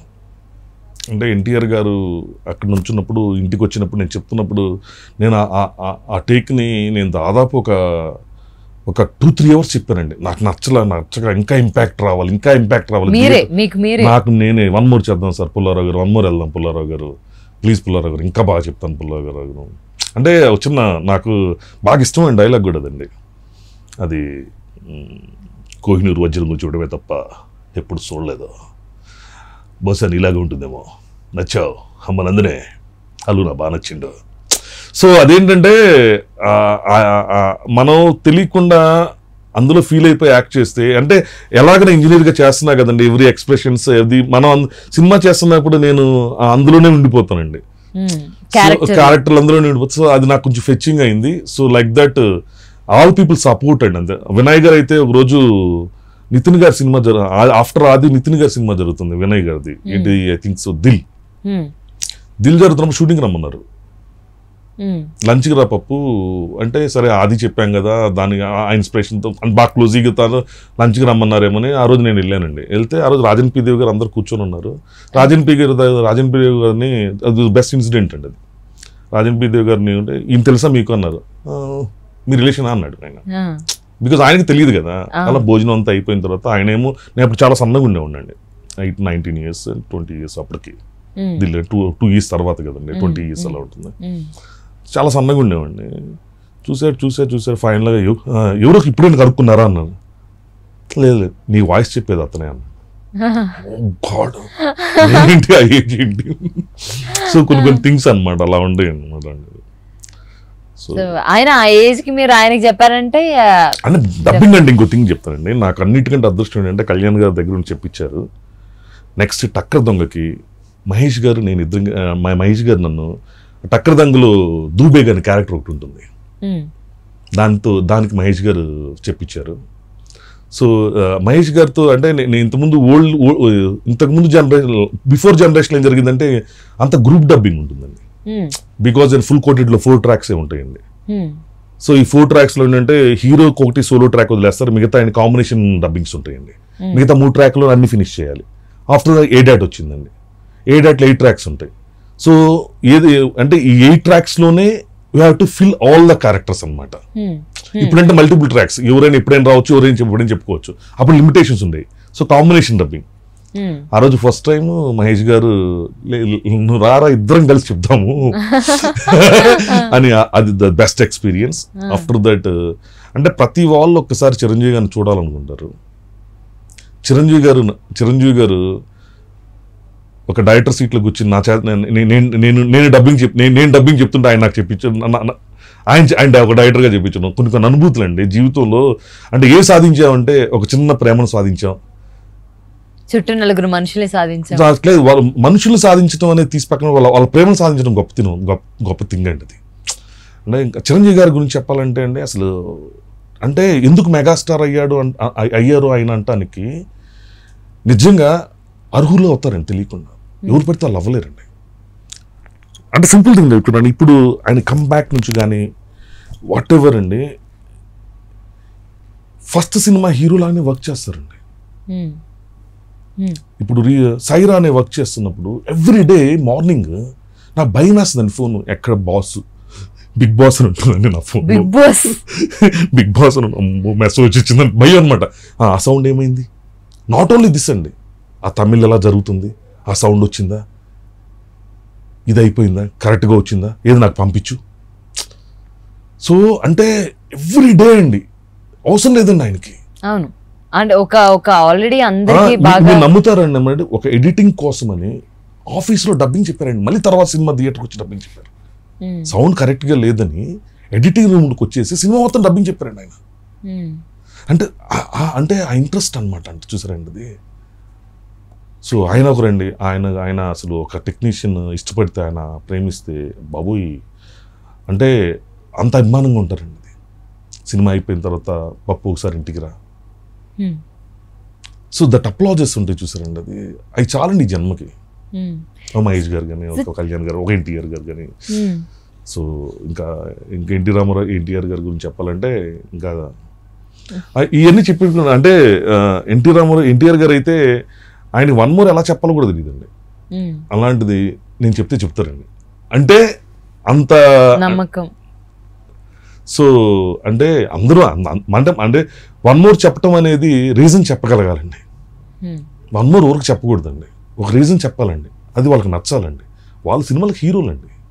వాళ్ళ ప్రొడక్ట్ వాళ్ళకేంటో వాళ్ళకి తెలుసండి. ఒకసారి ప్లే అనగానే వాళ్ళకి తెలుసండి. బాగుందో బాగాలేదు వాళ్ళ మనసులో ఉన్నది నువ్వు చెప్పగలిగిన రోజు "ఏ, ఇది ఈ పలానా ప్లేస్లో ఇలాగా బాగలేదు అని ఆయన మనసులో అనుకుంటే నువ్వు అదే చెప్పగలిగిన రోజే నేను నీ మీద నమ్మకం ఉంటుందండి. అంత అంటే అదే అన్ని? అంటే అన్ని మన బాడీలో ఉన్న ఎవ్రీథింగ్ వర్క్ కోసం చేసిన రోజు hundred percent every person will with us అండి. That only thing I will tell అండి అంతే. ఓకే అండ్ చిరంజీవి గారి సినిమాలో మీకు బాగా ఆల్ టైమ్ మీరు పర్సనల్గా అంటే యాజ్ అన్ ఆడియన్గా ఎంజాయ్ చేసే సినిమా ఎక్కువ సార్లు చూసిన సినిమా ఏంటి? నేను చాలా సినిమాలు చూసానండి ఆ, నేను నేను సినిమా నేను నేను బేసికల్గా అందరు చేసే సినిమాలన్నీ చాలా సార్లు చూస్తూ ఉంటాను. నా దగ్గరికి వచ్చిన దగ్గర నుంచి త్రీ మంత్స్ నేను చూస్తానే ఉంటానండి. సో అంటే బేసికల్గా ఏంటంటే నాకు వారు వీరు అని ఏం లేదు. బికాస్ నేను నేను చేసే వర్క్ చేసే సినిమాల్ని సినిమా రిలీజ్ అయిన తర్వాత కూడా చూస్తూనే ఉంటాను. ఇప్పటికీ ఇప్పుడు నేను ఇప్పుడు నేను ఖుషి సినిమాలో నేను నేను వాయిస్ చెప్పాను చూసారా? నేను ఒక పాటలో అయితే ఎప్పుడు ఫీల్ అవుతారు ఇంకొంచెం బాగా బెటర్గా చెప్తే బాగుండేదేమో అన్న ఫీలింగ్ నాకు అనిపిస్తూ ఉంటుందండి. డెఫినెట్గా ఉంటుందండి. సౌండ్లో ఒకటి ఐలో ఒకటి మళ్ళీ ఇంకోసారి చూస్తే హండ్రెడ్ పర్సెంట్ అనిపిస్తూనే ఉంటుందండి. బట్ ఇన్ని మోడ్యులేషన్స్ లేకపోతే ఇప్పుడు మోడ్యులేషన్స్ వేరియేషన్స్ అన్నీ మీకు తెలిస్తే అలవాటు అయిపోతుంది కాబట్టి ఈ మోడ్యులేషన్ వేరియేషన్స్ తెలిసినప్పుడు ఇప్పుడు నా పాటలు ట్రై చేద్దాం? అని అనిపించలేదా? అంటే జనరలైజ్డ్ థింగ్స్లో ఒక పాట పాడేద్దాం. అంటే నా వాయిస్ ఎలా ఉంటుందంటే ఒక విలన్ లాగా ఒక బర్రె గొంతు తీసుకుని ఉంటుంది. కాదండి. దాంతో పాట పాడిస్తే ఎలా ఉంటుంది? ఏం కొన్ని కొన్ని సూటబుల్ రేర్ వాయిసెస్ ఉంటాయి కదా. దానికి వేరే ఆ- నాలెడ్జ్ మనకు లేదు నా సరిగమ నాలెడ్జ్ లేదు. కాకపోతే ఏంటంటే నాలెడ్జ్ లేదని కదా సౌండ్ నాలెడ్జ్ ఉంది. దాంతోనే నేను డైరెక్ట్ చేసిన ఫిలిం నేనే మ్యూజిక్ డైరెక్టర్గా వర్క్ చేశాను. ఆలస్యం ఆ, శి- శివాజీ రాజా గారి అమృతం సీరియల్కి శివాజీరాజు గారు అమ్- అమృతం అనే సీరియల్ చేశారు చూసారా? దానికి టైటిల్ సాంగ్ నేనే చేశాను. So that's a different story. అది అది బికాజ్ ఆఫ్ నేను ఒక ఒక five hundred to six hundred song recordings చేస్తుంటాను నా ఇంజనీరింగ్ ట్రా ఇంజనీరింగ్ ట్రావెల్లో.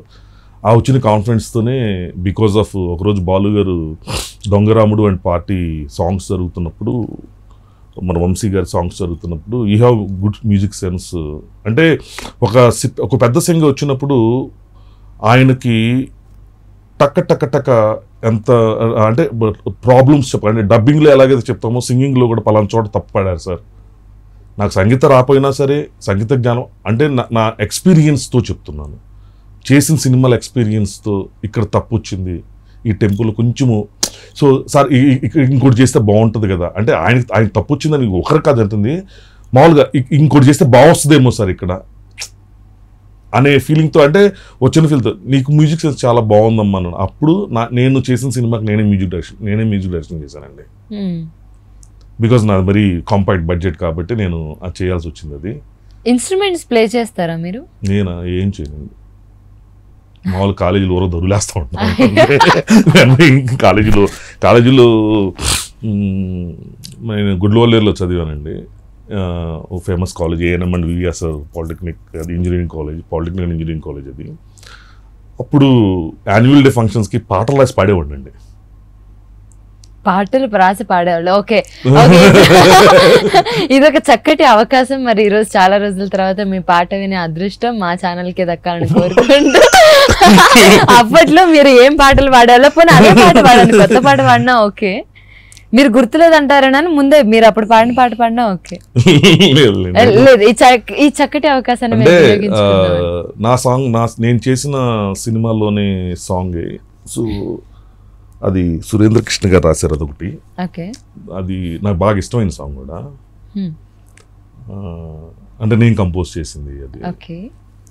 నా గొంతు బాగుండదు లైట్ అయ్యో వద్దులేండి సార్. చెప్పండి. గురువు గారు ఎదురుగా వచ్చినప్పుడు మేము ఎక్కువ మాట్లాడుకుంటాం. గురువు లేదండి. అప్పుడే గురువుని చేయకండి ఇంకా చాలా వర్క్ చేయాలండి. నన్ను ముసలాన్ చేయకండి నన్ను. నేను ఇంకా లెర్నింగ్ స్టేజ్ చిన్న వయసులో గురువుగా మారినటువంటి పప్పు గారు. నథింగ్ అండి. ప్రేమంటే తెలిసిందమ్మా నీతోనే. ప్రేమే నీవమ్మా. ప్రేమిస్తే పండేనమ్మా ఈ జన్మ ప్రాణం నీదమ్మా. ఎదలో నా నీవమ్మా. ఎదవీనే నీదమ్మా. నిదరంటూ రాదేంటమ్మా నవ్వే చిలకమ్మా. నాకు సై ఎక్కువ అండి మామూలుగా అయితే పాడతాను కానీ. సో లైక్ దట్ లాగా అంటే ఎన్నేంటంటే ఏదో ఒకటి చేయాలి అన్న ఫీలింగ్ తప్పనమాట ఎన్నేంటంటే నీకు హ్యాపీగా అందరు సినిమాలు చేస్తున్నారు చేస్తున్నారు. నీకు ఎందుకురా ఇప్పుడు ఎన్ని దోల్లో? అందుకే మళ్ళీ బ్యాక్ వచ్చాను. బ్యాక్ వచ్చి నా పని నేను ఇలా చేసుకున్నాను ఎవరైనా చెప్పారా? లేకపోతే మీకు మీరే చెప్పారు? నేను నేనే చెప్తాను బికాస్ ఏంటంటే అండి ప్రతి ట్రావెల్ జరుగుతున్నప్పుడు ఏంటంటే వీఆర్ అంటే చాలా మంది పరిచయం అయినప్పుడు ఏమవుతుందంటే ఇంకా ఎదగాలని కోరిక ప్రతి వాడి మనసులో ఉంటుందండి. సో నాకేంటంటే ఆఫ్టర్ దట్ నాకు ఇప్పుడు నాకు డైరెక్షన్ చేస్తే బాగుంటుంది కదా అనే కోరిక పుట్టిందండి నాకు. హ్మ్. ఆ టైంలో కథ రెడీ చేశానండి. ఒక కథ రెడీ చేసుకున్నాను. సో ఆ కథని ముగ్గురు నలుగురికి చెప్పానండి. సో అంత పాజిటివ్గా రియాక్ట్ అయ్యారు. సో నాకు అందరు హీరోలు తెలుసండి. ఆ జనరేషన్ తెలుసు. అప్పుడు ఇది ఇది for happen two thousand two అండి. అందరు హీరోలతో వర్క్ చేస్తున్నాను. హీరోలు అందరితో వర్క్ చేశాను కాబట్టి నేను ఇప్పుడు వెళ్ళి నేను కట్ చేసుకున్నాను డైరెక్షన్ చేద్దామని ఏదైనా హీరో గారి దగ్గరికి వెళ్ళి నేను అడిగానంటే అరే మనం క్లోజ్గా ఉన్నాం కాబట్టి పప్పు వచ్చేసి సినిమా కథ చెప్తానంటున్నాడు అనే బాధ అని- అని ఫీల్ అవుతారేమో అనే భయంతో నా మనసు ఫీలింగ్ అనమాట లేదు లేదు అలాంటి తప్పు చేయకూడదు. So will go for the something new ఎవరుండారు కొత్తగా వచ్చేవాళ్ళంటే అప్పుడు తారక రత్న గారు సెవెన్ ఫిల్మ్స్ ఏదో ఓపెన్ అవుతున్నాయి అని తెలిసిన వెంటనే నాకు తెలియదు ఆయన. సో నేను వెంటనే ఎవరు ఫ్రెండ్స్ వాళ్ళకి ఏం చేస్తే Rajiv Kanakala garu friends Rajiv is very close to me. Rajiv నాకు సినిమా నేను కథ రాసుకున్నాను. నువ్వు వింటావా ఒకసారి అంటే లేదు లేదు ఏంటి చెప్పాను. లేదు నేను ఇలా తనకు చెప్తాను ఒకసారి. మరి కాదు ముందు వాళ్ళకి చెప్తాను. చెప్తే కొంచెం నాకు తెలియదు వాళ్ళు కొంచెం ఇంట్రడ్యూస్ చేయవా? అంటే రాజీవ్ గారు ఇంట్రడ్యూస్ అప్పటికి తన సెవెన్ ఫిల్మ్స్ ఓపెనింగ్ అయిపోయినాయి అన్నీ జరిగిపోయినాయి సో ఆ, తర్వాత వెళ్ళి వాళ్ళ మోహన్ కృష్ణ గారు రమ్మన్నారు. సో తారక రామ థియేటర్లో నేను ఫస్ట్ కథ చెప్పాను. ఫస్ట్ ఆఫ్ చెప్పేసి ఆయన కూడా అంటే టేక్ ఆఫ్లో ఇంజనీర్ కదా ఏదో వినాలి. బికాజ్ ఏంటంటే ఆ నెక్స్ట్ సినిమా నేనే చేస్తున్నాను సౌండ్ ఇంజనీర్గా హ్మ్. నా దగ్గరే నెక్స్ట్ బుక్ చేశారు. ప్రసన్న ప్రసన్న గారు దానికి ఎగ్జిక్యూటివ్ ప్రొడ్యూసర్గా అన్ని చూసుకుంటూ ఉంటారు అనమాట సో సరే కాదనలేక అంటే నెక్స్ట్ సినిమా అక్కడ జరుగుతుంది కదా కాదనలేక ఓకే అన్నారేమో తెలియదు వెళ్ళి తారక రామాలు ఫస్ట్ హాఫ్ కథ చెప్పాను. కథ చెప్పి స్టార్ట్ చేశాను విన్నారు. ఫస్ట్ హాఫ్ చెప్పినట్టు సెకండ్ హాఫ్ చెప్పకుండా వచ్చాను. సెకండ్ హాఫ్ ఏంటి అన్నారు. సెకండ్ హాఫ్ అది ఆ కట్టే కట్టు తెచ్చి అలా చెప్పేసి వచ్చేసాను. అదేంటి అలా వెళ్ళిపోతున్నాను అవును సార్ మీ సినిమా చేస్తానని చెప్పిన అప్పుడు చెప్తా సెకండ్ హాఫ్. అని వచ్చాను. తర్వాత ప్రసన్న గారు చాలాసార్లు కాల్ చేసి ఏంట్రా నువ్వు సెకండ్ హాఫ్ చెప్పకుండా వచ్చావంటాడా అవునున్నాయి మరి అవునండి మరి సినిమా మీరు కన్ఫర్మ్ చేస్తే చెప్తాను అది చెప్పాను. అప్పుడు అప్పుడు అడ్వాన్స్ పంపించారు అప్పుడు వెళ్ళి సెకండ్ హాఫ్ చెప్పానండి. ఒకటేంటంటే నేను చేసింది కరెక్టే కానీ నేను వెళ్ళిన విధానం తప్పనిపించింది నాకు. నేను బాగా స్ట్రైట్గా ఉంటానండి ప్రతిదీ. మనసులో ఉన్న తప్పని చెప్పేస్తాను ఫస్ట్ థింగ్ సో ఇంకోటి ఏంటంటే the best best supporter Mohan Krishna గారికి వెరీ వెరీ థ్యాంక్స్ అంటే సినిమా నేను ఫెయిల్ చేయటం వల్ల వాళ్ళ అబ్బాయి జీవితం కొంచెం నాశనం వాళ్ళ అబ్బాయి జీవితాన్ని నేను సక్సెస్ చేయలేకపోయానేమో నాకు తెలియదు అంటే నా సినిమా కా- నా సినిమా కాదని ఎంతమందికి చెప్పినా చాలా ఇన్స్పైర్ అయ్యేవాళ్ళు. నేను దాన్ని స్క్రీన్ మీద తే- తేలేకపోయానేమో. ఫస్ట్ థింగ్ అంటే ఫస్ట్ డ్రాబ్యాక్ ఈజ్ మైండ్ అంటే నాకు ఇంకా అంత నాలెడ్జ్ రాలేదు సినిమా మేకింగ్ మీద. ఎందుకు అంటున్నానంటే మేకింగ్ మీద రాలేదు అని నేను ఎందుకు మేకింగ్ మీద సినిమా తీయటం నాకు నాకు నాలెడ్జ్ రాలేదని నాకు అర్థమైంది. సో అంటే పోయిన తర్వాత ఒక తప్పుని ఎదుటోళ్ళ మీద వేయటం నాకు ఇష్టం ఉండదు బేసికల్గా కానీ సినిమాలు తీసి ప్రేమించే ప్రొడ్యూసర్స్ మాత్రం చాలామంది ఇండస్ట్రీ రియల్గా ప్రేమించే ప్రొడ్యూసర్ చాలామంది ఉన్నారు. అలాగనే ఈ సినిమాతో ఈ సినిమా సినిమా అనేది ఊరక మనం డబ్బు సంపాదించడం కోసము తీసుకోవాలి అని చిన్న చిన్న సినిమాలు తీసి చాలా నష్టపోయే ప్రొడ్యూసర్స్ ఉన్నారు. సో రియల్ అంటే నాకు నేను చూస్ చేసుకున్న ప్రొడ్యూసర్ రాంగ్ ఏమో నాకు తెలియదు అసలు నా ఆ టైంలో నా ఫేటే రాంగ్ ఏమో నాకు తెలియదు నేను అలా పరిగెత్తడం రాంగ్ ఏమో నాకు తెలియదు so whatever the happened is happened ఆ తర్వాత నుంచి అనుకున్నాను ఇంకెప్పుడు డైరెక్షన్ చేయకూడదని. సో అప్పటి నుంచి అనుకున్నాను ఇంకెప్పుడు ఈ టీవీలో ఇంటర్వ్యూలు కూడా ఇవ్వకూడదని. కాదండి ఇప్పుడు ఎందుకు ఇస్తున్నాను ఎందుకంటే నేను అందరి నేను అందరితో పనిచేసే వ్యక్తినండి. ఇంటర్వ్యూలో ఈయన ఇంటర్వ్యూ అనగానే అంటే ఏమవుతుందంటే అండి నాకు అందరు కావాల్సిన వాళ్ళు నేను ఎందుకు ఇంటర్వ్యూ ఇవ్వాలి? కాకపోతే ఇది ఓన్లీ మన ఫిల్మ్ ఇండస్ట్రీకి సంబంధించిన ఛానల్ కాబట్టి ఎప్పటి నుంచో దాదాపు నాలుగైదు సంవత్సరాల నుంచి అడుగుతున్నారు కాబట్టి సో ఇది కోవిడ్ టైం కదా ఏదో టైం పాస్గా ఉంటుందని ఉద్దేశంతో ఇస్తున్నాను అంతే తప్పితే. నన్ను చాలా మంది అడిగినప్పుడు నేను ఒకటే అన్నానండి "ఏ లేదండి మైలేజ్ వస్తుందండి అవసరం లేదండి నా ఫిల్మ్ ఇండస్ట్రీ ఫిల్మ్ ఇండస్ట్రీ ఒక టెన్ కిలోమీటర్స్ రేడియస్లో ఉంటుందండి ఆ టెన్ కిలోమీటర్స్ రేడియస్ రేడియస్లో ఉన్న మైలేజ్ నాకు చాలండి. బికాజ్ నన్ను బతికించేది వాళ్ళేనండి. నాకు నా కుటుంబానికి తోడుగా ఉన్న ప్రతి హీరోకి ప్రతి డైరెక్టర్కి ప్రతి ప్రొడ్యూసర్కి చేతులు ఎత్తి మొక్కుతున్నాను. దట్స్ ఇట్ అండి అంతే. ఓకే సో ఇది జనరల్గా ఆ- అందరూ అంటే చాలా మందికి ఏంటంటే మనకి పర్సనల్గా హీరోలు తెలియదు కాబట్టి కొంతమంది ఊహాగానాలు వినేవి అర్థం చేసుకొని వీళ్ళు ఇలా ఉంటారని ఫిక్స్ అయిపోతూ ఉంటారు. అలా ముఖ్యంగా చెప్పాలంటే మన బాలయ్య బాబు గారి గురించి. సో పాపం కొంతమంది ఏంటంటే బాగా దగ్గరగా తెలిసిన వాళ్ళు ఆయన ఆత్మబంధువులు ట్రీట్ చేస్తారని అనుకుంటారు. ఎట్ ద సేమ్ టైం చాలామంది ఏంటంటే అమ్మో ఆయన కోపం వస్తే డబ్బులు ఇచ్చి మరీ కొడతారంట అని ర- రకరకాలు వినిపిస్తూ ఉంటాయి. సో మీకు దగ్గరగా తెలుసు కాబట్టి నేను మిమ్మల్ని అడుగుతున్నాను. సో ఎలా ఉంటుంది బాలయ్య బాబు గారితో వర్క్ చేయడం? సో ఎక్స్పీరియన్స్ ఎలా ఉంటుంది? అంటే నేను బాలయ్య బాబు గారితో ఎక్కువ సినిమాలు ఏం వర్క్ చేయలేదండి. కాకపోతే ఈ మధ్య కాలంలో ఫస్ట్ సినిమా గురువు గారి సినిమా చేశారండి బాలయ్య గారితో. ఆ, తర్వాత మళ్ళీ మొన్న lockdown last time lockdown before అంటే ఒక రెండు సినిమాలు చే మూడు సినిమాలు చేశారు. రెండు సినిమాలను మొన్న రీసెంట్గా లాక్డౌన్లో రిలీజ్ చేశారు చూసారండి. అదేంటి? ఐ ఫర్గెట్ దట్ అండి. అంటే ఆగిపోయిన సినిమా చిన్న క్లిప్పింగ్ ఒక eight minutes length clipping release చేశారు. దానికి చెప్పించామండి. నాకు బాలయ్య బాబు గారిని చూస్తే అంటే నేను అంటే ఇంతకుముందు నేను రామారెడ్డిలప్పుడు సమరసింహారెడ్డి నరసింహారెడ్డి జరుగుతున్నప్పుడు వీ హ్యావ్ దట్ థింగ్ అండి.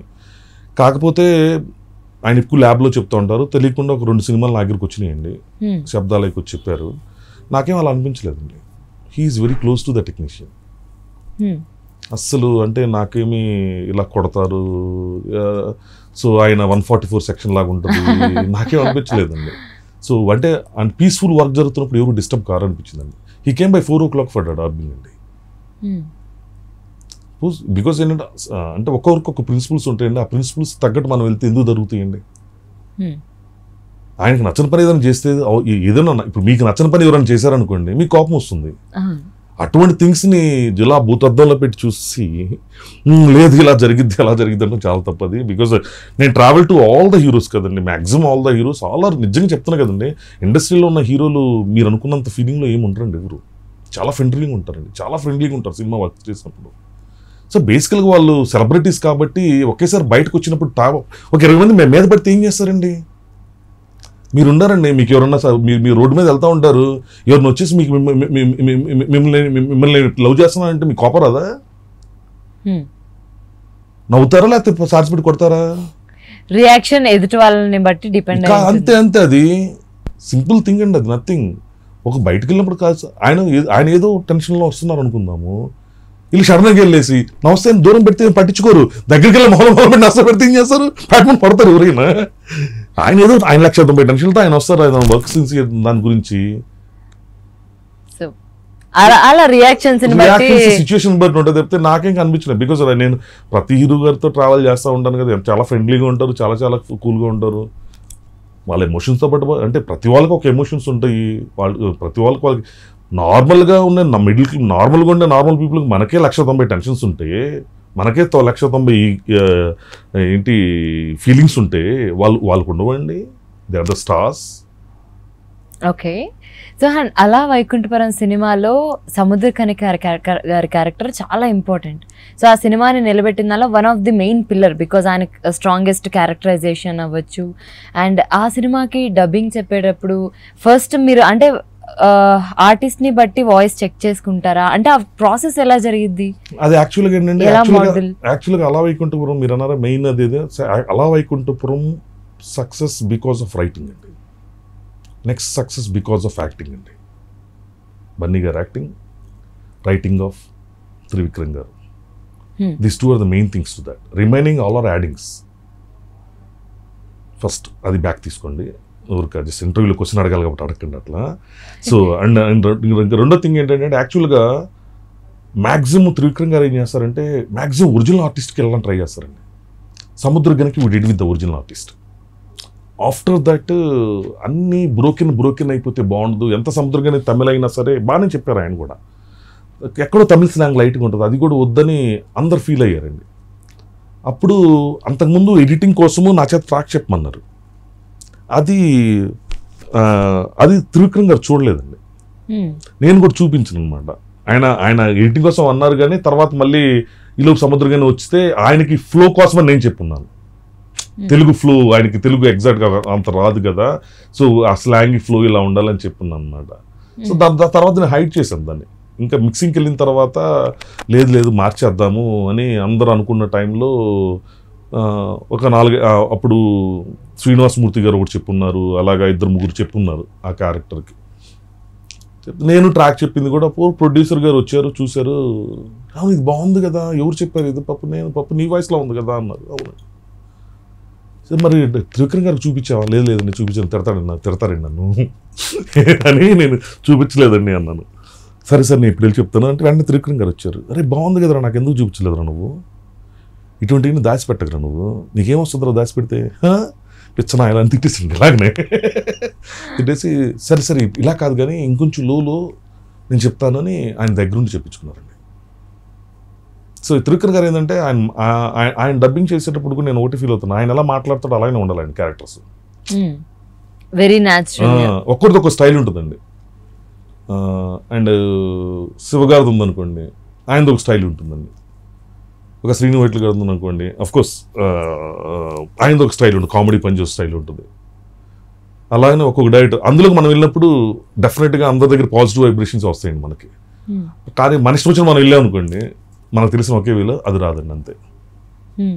సో ఇప్పుడు ఒక డైరెక్టర్ మనకి డబ్బింగ్ దగ్గరకు వస్తున్నారు అన్నప్పుడు ఆయన ఫ్లోలో మీకు ఒక డైలాగ్ అర్థమైపో ఒక లైన్ అర్థమైపోద్ది. ఓకే ఈయనకి ఇది కావాలి మన ఈ డైరెక్టర్కి ఈ version లో ఇలా వెళ్ళిపోతారు మనకి ఇలా కావాలి అని.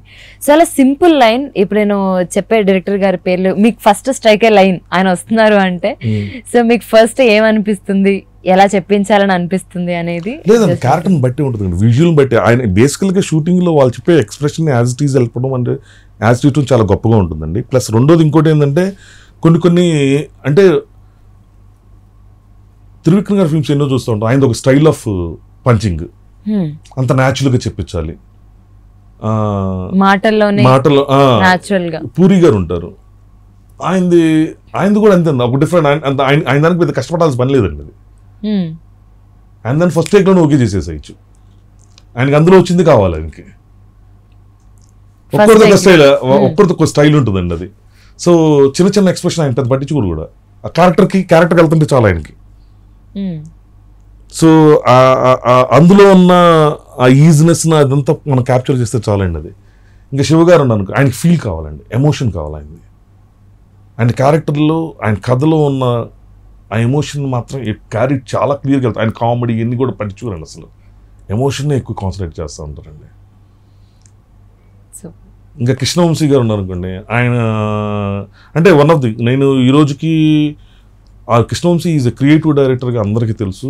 ఆయన సినిమాలు కంటిన్యూగా చేశాను కాబట్టి రే వంశీ గారు ఎక్కువ పప్పు దగ్గర చేస్తారు కళ్యాణ్ గారు ఎక్కువ పప్పు దగ్గర చేస్తారు మహేష్ గారు ఎక్కువ పప్పు దగ్గర చేస్తారు. మహేష్ గారు అసలు పప్పు పప్పు ఫస్ట్ డబ్బింగ్ అంటే పప్పు అంటాడు సో అలానే ఎన్టీఆర్ గారు ఇలాగ అంటారు. చిరంజీవి గారు ఇంకా రామ్ చరణ్ గారు. ఇంకో one of the best thing చెప్తానండి నాకు నాకు నా అదృష్టం ఏంటంటే అండి చిరంజీవి గారు ఎంత నమ్మారు నాకు చిరంజీవి గారు చేసిన ఒక చిన్న ఒక పెద్ద హెల్ప్ అండి. ఒక టెక్నీషియన్కి లేదు మన టెక్నీషియన్ కష్టపడతాడు మన సపోర్ట్గా ఉండాలి అని ఎంత ఎంత ఆలోచిస్తారని ఎగ్జాంపుల్ చెప్తున్నాను Hmm. టాపిక్ వచ్చి గుర్తొచ్చింది కాబట్టి. Hmm. చిరుత అనే cinema is the debut film to Charan sir it was it was happening Prasad lab అండి. Hmm. ప్రసాద్ ల్యాబ్లో జరుగుతుంది. అప్పుడు చిరంజీవి గారు ఎక్కడికి డబ్బింగ్ వెళ్తున్నావు అని అడిగారో మరి ఏం జరిగిందో తెలియదు. లేదు లేదు పప్పు దగ్గరికి వెళ్ళు. నువ్వు పప్పు దగ్గర చెప్పు. అది చాలా సిన్సియర్గా చేస్తాడు. సిన్సియర్గా అవుట్పుట్ తీసుకుంటాడు. So that is more enough to my life అండి. Hmm. అంటే ఒక ఒక అంత గొప్ప స్టార్స్ లేదు ఈడు కష్టపడతాడు. ఈడు మనకు కావాల్సింది ఇస్తాడు. ఇప్పటికీ లైక్ దట్ ఒక రంగస్థలం ఉందండి. రంగస్థలము డబ్బింగ్ ఇంట్లోనే చెప్పేసి చేసే- చేసామండి.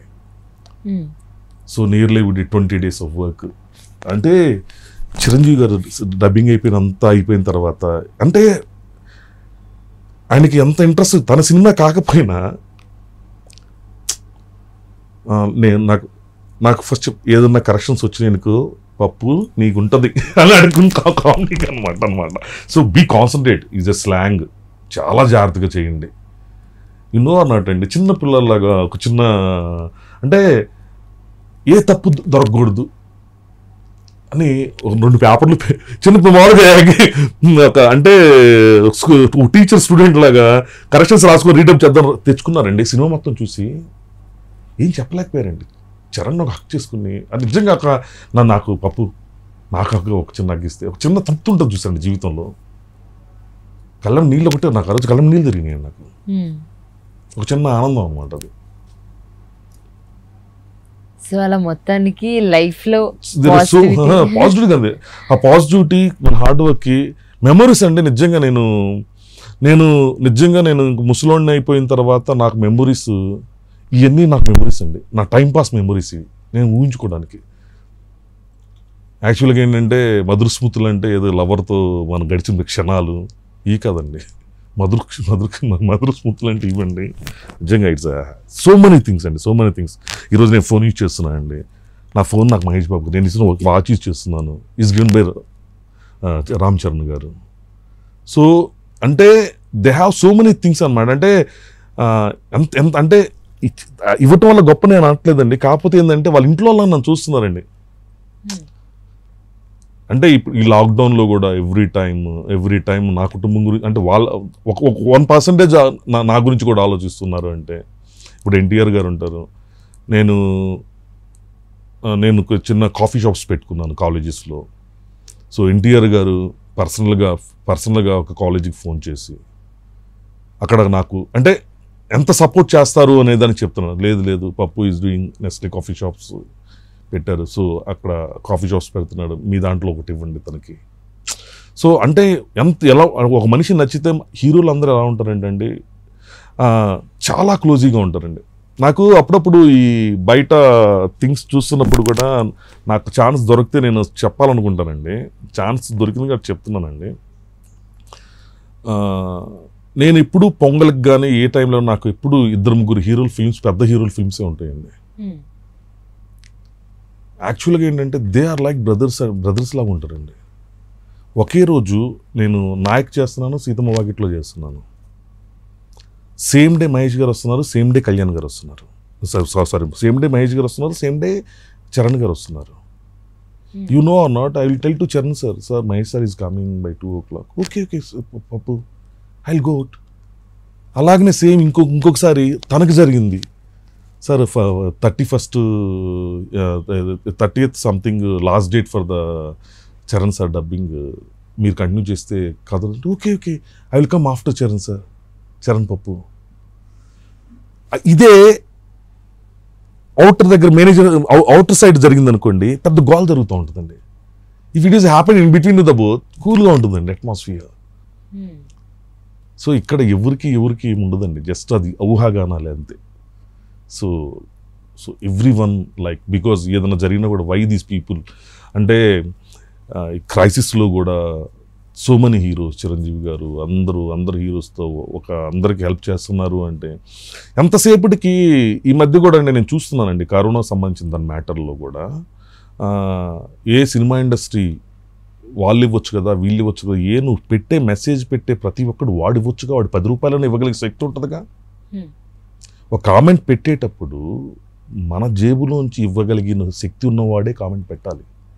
ఏ ఇండస్ట్రీలో ఉన్న ఒక జస్ట్ పది కిలోమీటర్ రేడియస్లో ఉన్న ఇండస్ట్రీ గురించి మాట్లాడుతున్నారే ఆంధ్ర తెలంగాణలో ఎంత రేడియస్ పీపుల్ ఉన్నారు ఎంత రేడియస్ ఆఫీసర్స్ ఉన్నారు ఎంత రేడియస్ పొలిటీషియన్స్ ఉన్నారు ఎంత రేడియస్ బిగ్ షాట్స్ ఉన్నారు వీళ్ళందరి గురించి మాట్లాడకుండా జస్ట్ పది కిలోమీటర్ రేడియస్లో మిమ్మల్ని ఎంటర్టైన్ చేసే మా మీదే పడతారా అందరూ? బట్ నిజంగా పప్పు గారు ఇట్ వాజ్ అమేజింగ్ ఇంటర్వ్యూ. నేను కూడా చాలా విషయాలు నాకు తెలియనివే తెలుసుకున్నాను. Seriously it's very cool so మీరు ఎప్పుడు ఇలానే హ్యాపీగా ఉండాలి అండ్ ఇలానే వర్క్ చేసుకుంటూ మీరు కొత్త విషయాలను తెలుసుకుంటూ మాకు కూడా చెప్పాలని మనస్ఫూర్తిగా కోరుకుంటున్నాను. మీకు పొగడ్తలు నచ్చావు కాబట్టి నేను తర్వాత పొగడుకుంటాను. ఎనీవేస్ థ్యాంక్ యూ సో చూసారు కదండి ఈరోజు మనం పప్పు గారి గురించి ఆయన ఆయన ప్రపంచం గురించి మనం చాలా విషయాలు తెలుసుకోవడానికి ట్రై చేసాం ఇంకొన్ని ఆయన దాచిపెట్టారు. సో ఈసారి ఎప్పుడైనా కలిసినప్పుడు ఖచ్చితంగా తెలుసుకొని చెప్తాను. ఎనీవేస్ ఇంకొక బ్యూటిఫుల్ ఇంటర్వ్యూతో మళ్ళీ కలుద్దాం. అంతవరకు ఫాలో అవుతూనే ఉండండి టీఎఫ్పిసి నేను మీ కృష్ణ చైతన్య. Thank you